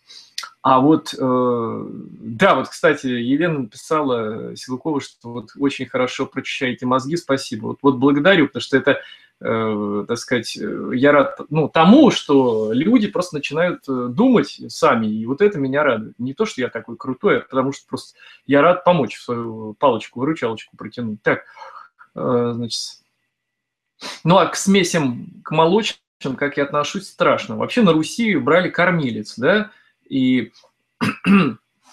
если уж мы говорим о том, ну вот беда там, и как вообще раздоить любую женщину можно. Вот. Но ладно, давайте так. Э, значит, какие заменители там? Вот конопляное правильно приготовленное молочко, который у меня в блоге найдете, там про лен конопляное молочко, его с нулевого возраста детям давали и выкармливали прекрасно. Что касается, ну, конечно, это зависит от того состава, минералы, вот проблема в чем сейчас. Ну, плюс морковный сок разбавленный один к трем. Сначала в воде, чистый, хороший, дистиллированный или кипяченый, но охлажденный. Потом меньше дозы, уже меньше по мере роста ребенка. Э, ну, а уже с там, месяцев восьми можно там вводить уже и в блендере измельченную там кабачок и тыква, и, так сказать, та же морковка уже и прочее. Вот. Ну, все это, если будет выращено на хорошей почве, это будет только плюс и так далее, и так далее. Вообще, конечно, я, как я подробно могу такую сложную тему сейчас рассказать, но я плохо отношусь к смесям молочным, это уж точно. От диабета вообще очень просто можно излечиться. Если речь идет про второй тип, то недели за две, перейдя на сыроедение неправильное, да, с достатком воды качественной. А с первого типа, ну, подольше, там месяц-полтора, легко пере, можно излечиться. Ну, конечно, есть еще и грибы специальные, травы, которые могут просто ускорить и уменьшить процессы детоксикации. С диабетом очень простая штука. Ну, вы поймите, что знаете, в чем проблема вот э, по диабету э, инсулинозависимому? Что такое инсулин? Это гормон, который вырабатывается поджелудочной железой, который призван только, в общем-то, для одной главной цели – взять и провести глюкозу в клетку. Глюкоза – основной энергетический элемент, мономер, вот этот вот сахара, который сахаров, да, вообще класса, которые, вот, так сказать, участвуют в энергообмене, необходим для реакции от АТФ на трифосфорной кислоты, то есть обеспечения энергосуществования всех химических процессов в нашем организме. Но знаете, какая штука в природе есть? Есть еще фруктоза. Если она не синтетическая в виде порошка, купленная в магазине, а то такой только меня не спросите, буду страшно злиться. Вот. А фруктоза, которая естественным путем содержится во фруктах разных, там, да, там, а, знаете, в чем ее отличие от глюкозы? А, химическое строение одинаковое, формула одна и та же. Количество там атомов углерода, водорода э, одинаковое. А знаете, в чем разница? А, дело в том, что глюкоза – это если это же еще пространственная конфигурация, надо смотреть, это же не двухмерная плоскость, а трехмерная. Так вот, ну, вообще многомерная, но мы будем так примитивно говорить, трехмерная, да, формула, э, структура. Так вот, структура глюкозы право закрученная, э, назовем так, условно спираль, условно, изомер, право вращающий, а фруктоза лево вращающий изомер. И вот фруктоза может в клеточку нашего организма, в каждую войти без посредника, без проводника, без гормона инсулина.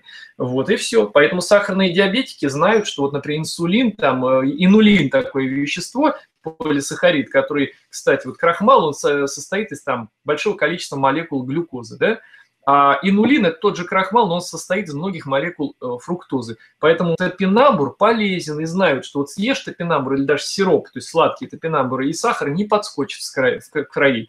Потому что гормон не нужен для этого, инсулин. Видите, как все очень просто на самом деле в природе. Вот в своих лекциях я все это объясняю. Просто сегодня у нас тема другая немножко. Хотя опять-таки, как она не связана со здоровьем, конечно, напрямую связана. Но я не могу подробно на все вопросы отвечать. Вот вам, а вы говорите, сложно инсуль. Вы пока, запомните, пока вы питаетесь неправильно, сахарный диабет вы не лечите. Поэтому идиоты-медики, ну, те, кто вот этого не понимают, они обязаны это понимать. Ну, поэтому идиотов я называю только заслуженно людей. Я никогда не обижаю незаслуженно. Так вот, кто а, особенно выпендривается, еще пытается там умничать, ну, а неизлечимая эта болезнь там, ну правильно, жари котлеты, так сказать, с пюре, пюре картофельным, диетическим, и ты никогда не излечишь сахарный диабет, еще бы. Поэтому оно неизлечимое, что горе от ума. Переумничали. Много на себя берем, считаем умнее природы себя. Ну, досчитались. А все-таки кто-то ответит на вопрос, который вот я поставил, очень интересный вопрос, на мой взгляд. Вот никто ничего не написал, ну и жалко. Какой вывод можно сделать из того, что я последний пример э, про деревню и трех друзей, которые там воевали на, Бород... на Бородинск. Ну, давайте я вам скажу. Вывод-то очень простой. Первый вывод, что хорошо нам по мозгам наездили, что хоть средняя продолжительность была 30-40 лет, однако там жили и 150, и 200. А, причина детской смертности, это я частично коснулся. В каких-то лекциях своих я вообще подробно об этом рассказываю. В статье о молоке я тоже подробно об этом рассказываю. В третьей, по-моему, своей. У меня три статьи о молоке, где огромных-огромных. На книгу хватит. В блоге прочтете, если будет интересно. Ну вот, второй вывод, который можно сделать, что э, значит, огромное количество людей жило долго, гигантское. А теперь я вам примерную процентную такую пропорцию приведу в форме фактов. Ну, допустим, если проанализировать то количество людей, которые участвовало в Бородинском сражении, да, то давайте возьмем наших фронтовиков, которых уже сейчас мало осталось, с каждым годом в 2-3 раза, там в 5 их меньше становится. Так вот, представьте, что в 2045 году, кто-то скажет, что нам бы дожить до этого времени. Так вот, представьте, что в 2045 году э, фронтовиков, которые участвовали во Второй мировой войне, будет 200 тысяч человек. Ну, вы сами понимаете, что, дай бог, э, одного не будет, наверное.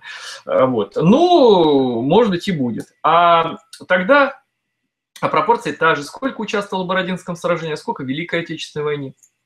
Вот и посчитайте. Примерно так и получается. Так вот, я вам что хочу сказать. Дожили. Дожили. И причины очень понятны. Кто-то, вот я знаю, люди, знаете, как меня что еще бесит? Начинают люди э, что-то там пытаться доказать, ну, самим себе, естественно, сумничать, э, не анализируя вообще.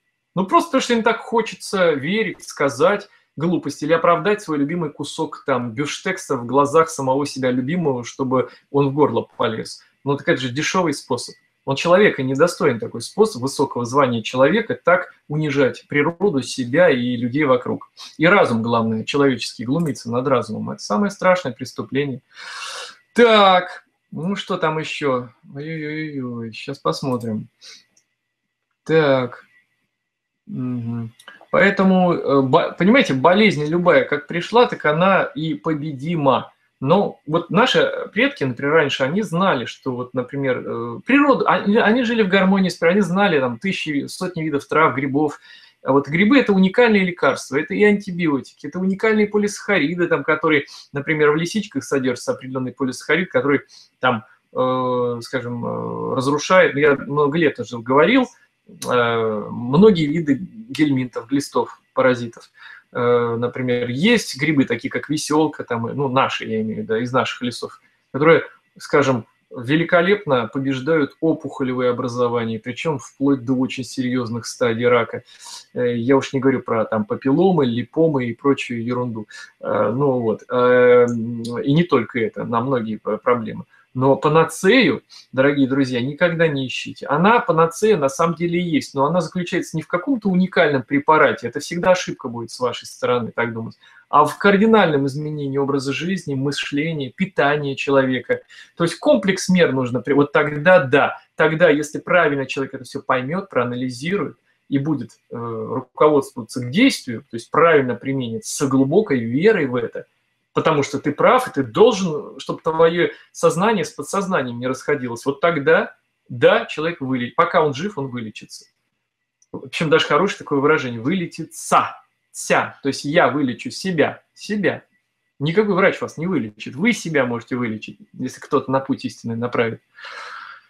Магнитная терапия для очищения организма от паразитов. И вы имеете в виду биорезонансная методика, вот э, приборы, которые как бы на частоту настраиваются колебаний клеток тех или иных паразитов и дают резонанс, и он погибает. Я отношусь к этому плохо, потому что погибшие паразиты, если их много, тем более, будут моментально гнить вот эти там сотни миллионов белковых молекул, которые надо вывести. Иногда у людей не справляется системы выведения. И тогда возникают серьезные кризы и прочее, там надо другие меры принимать.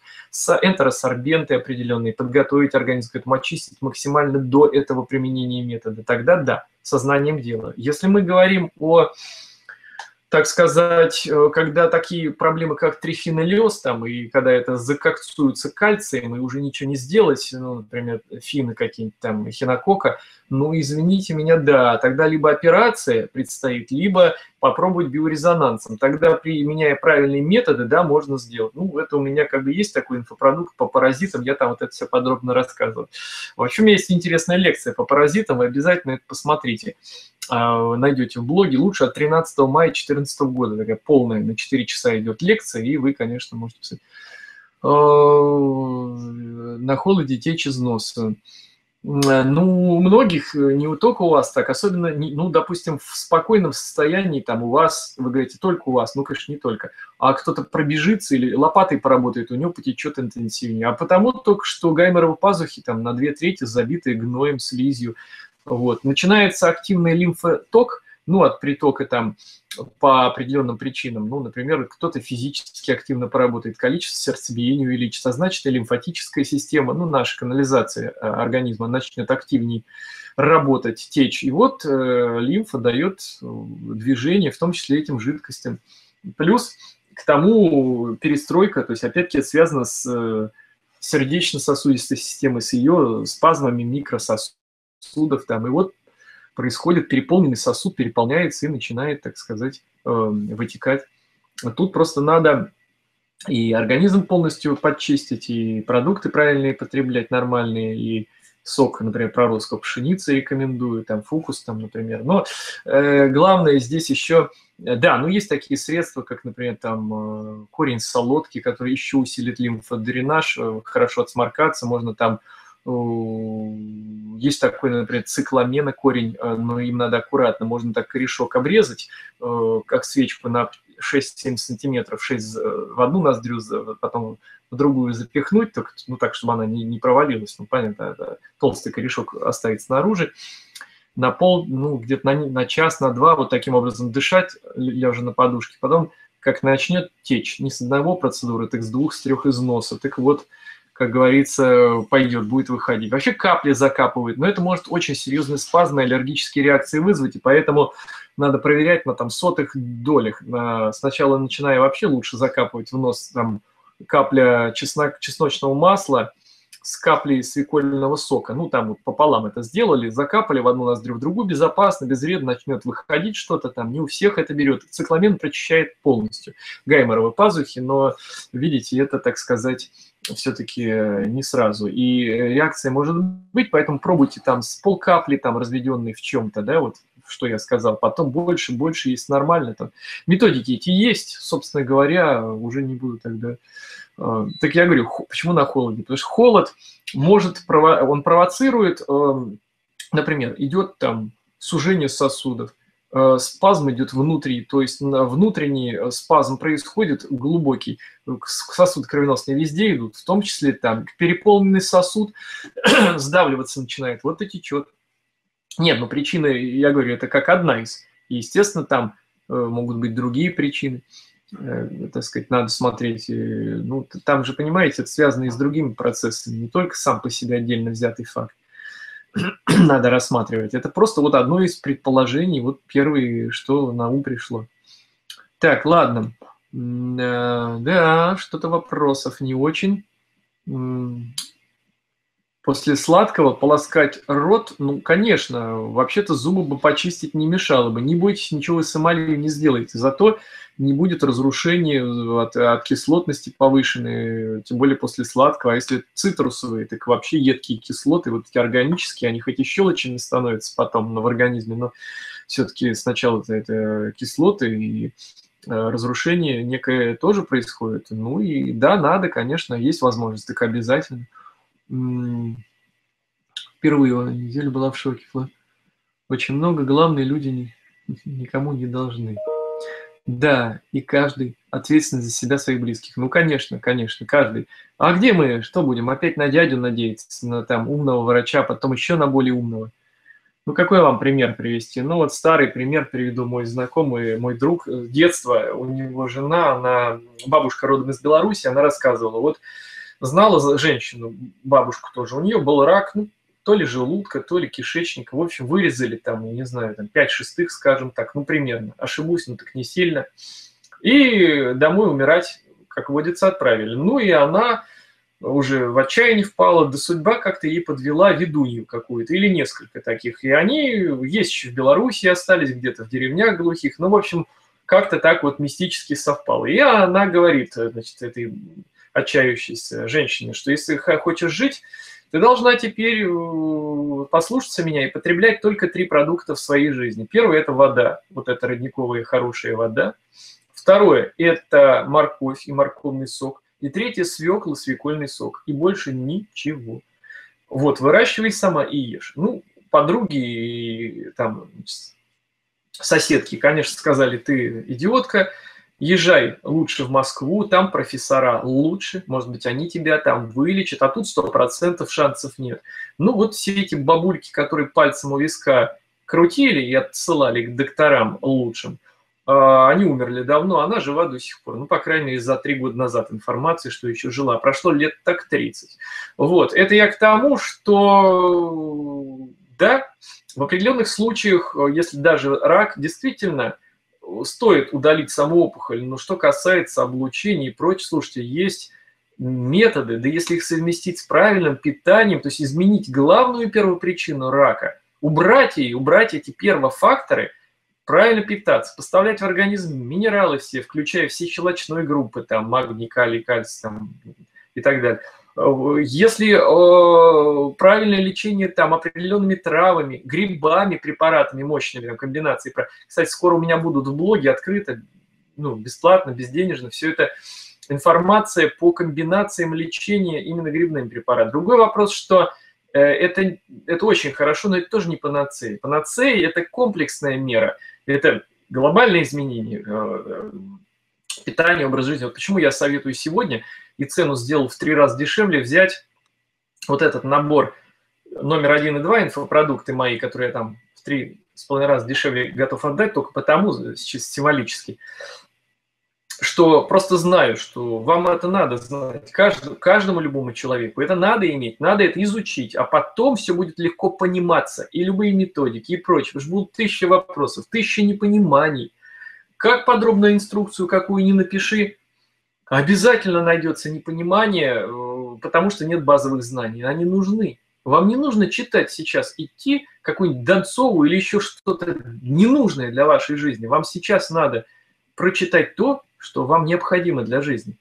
Я, по-моему, правильные вещи говорю абсолютно, да? Вот. Ну а потом уже э, можно и развлекаться и так далее. Надо сначала знать, чтобы не было горячо, больно потом. А, можно ли помедленнее? Понимаете, да, я привык, иначе бы я жизни бы не успел сделать, и то я стараюсь медленно. Я вообще обычно лекции, посмотрите, мои гораздо быстрее говорю. Нет, может, вы имеете в виду, что просто э, через микрофон, так сказать, слова как-то вам э, идут нечетко, а если просто быстро за мыслью не успеваете, ну так я, понимаете, ну как это медленно для меня, и мне трудно себя останавливать. Только лишь потому, кстати, в записи будет эта лекция моя еще завтра вот у организаторов по этой же ссылке часов, наверное, до 17.00 завтрашнего дня. То есть можно Э, пересмотреть. Вот. Ну уж простите за это, просто я мыслю гораздо быстрее и сейчас еще говорю, а еще одновременно думаю о других вещах. Э, потому что вот, ну, другие возможности мозга. Кстати, потому что я никогда в жизни алкоголь не потреблял. А кто употреблял, у него нет таких возможностей.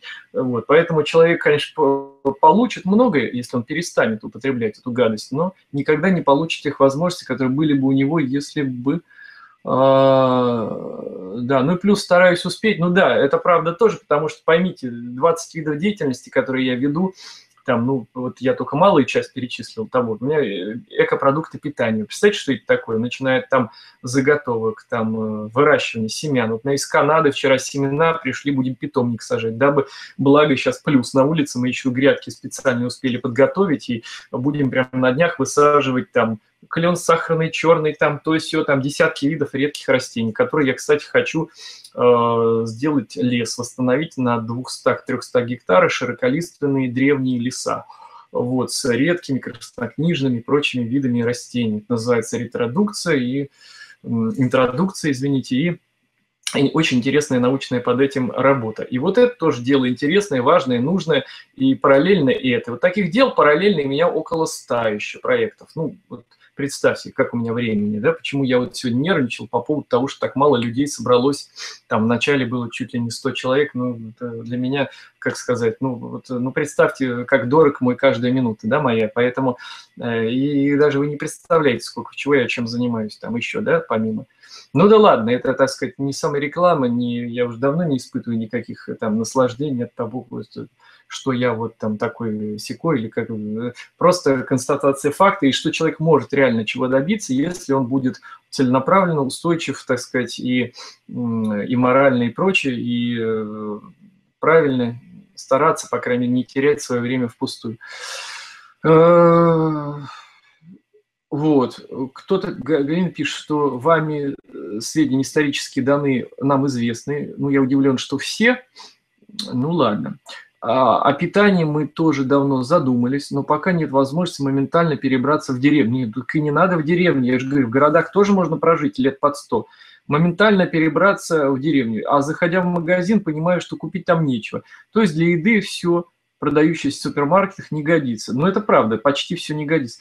Так вот, как нам быть с этим питанием? Ну, очень просто. Первое, я, кстати, в своих лекциях, вы говорите, вы знаете, ну, сами знаете, что же вы тогда не знаете, такой простой ответ на такой примитивный вопрос. Э, я более сложные, казалось бы, вещи говорю, но вы это знаете, это вы не знаете, удивляюсь. Объясняю. Первое, что вы можете сделать.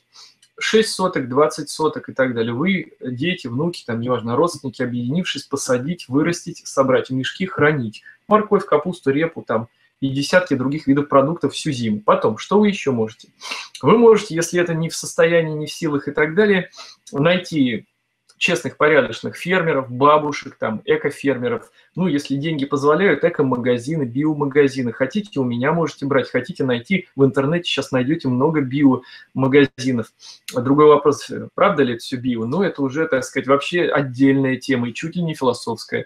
Второй момент – вы можете э, найти все-таки поездив по деревням. Вот если мне надо, я за день найду. Вот все, что надо, мне я за день найду, это просто предел. Э, ну, если буду даже ездить, а по интернету, так и за 10 минут. Ну, хорошо, вот э, вы можете найти в деревнях, ну, бабушку уже почти не осталось, ну, кого-то найти, кто что-то выращивает, поговорить с человеком, объяснить, там, даже предоплату, может, какую-то оставить, это уже зависит от э, вашего доверия и так далее. И заказать определенные продукты, потом забрать ну а можно, объединившись с кем-то, там, заказывать просто партиями на несколько человек, там, привозя на знакомых, друзей, и человек тогда уже вам, ему будет экономически выгодно, будет кто-то выращивать в деревне и привозить. Ну вот я могу перечислять еще много-много других вариантов, но неужели непонятно? Все может, кто хочет, тот всегда найдет. Так, да, вот, поэтому действительно это вот странно, что вот это как бы вызывает у вас удивление, как же быть. Ну, вот у меня это не вызывает, я понимаю, в деревне не, я и не призываю каждого. Я просто говорю, что это ну, естественно, нормально. А у некоторых страхи. Кстати, как человек меняет питание, у него страхи проходят, ну, как правило. А Вот. А э, наши страхи – это страшная подсознательная штука такая, которая не дает нам жить. И все эти страхи навеяны социумом, этой э, ложной такой псевдокультурой, которая э, мы боимся природы, то есть мы боимся сами себя. Это страшное дело. Мясо не едим, птицу тоже, пока рыбу еще иногда едим. Ну, уже как бы хорошо, да, как бы с одной стороны. А могли бы вы просто для примера озвучить хотя бы один день своего рациона питания? Ну, могу, но тоже не люблю я такие примеры. Хотя бы я могу, я сейчас скажу. Но почему я не люблю, тоже скажу. Ну, потому что мне он там на данном отрезке времени подходит, кому-то совсем не подойдет. У кого-то есть определенные хронические болезни, ему по-другому надо. Или там ему надо начать с комплексного очищения или голод, а кому-то голодание нельзя, потому что у него могут быть паразиты, особенно в печени, если вдруг. То есть э, все это я рассказываю на своих лекциях тематических, но вам скажу, например, сегодня что я ел. Ну, что ел сегодня? Два раза я ел салат, который состоит из авокадо, определенной зелени, там вроде салат, петрушка была, э, укроп, извиняюсь, масло, ну, там, льняное, либо кунжутное, сегодня, может быть, даже, ну да, льняное. Потом, но бывает, я и другое потребляю, иногда масло, там, кедровое, там, допустим, холодный отжим, качественное, конечно, да, это понятно.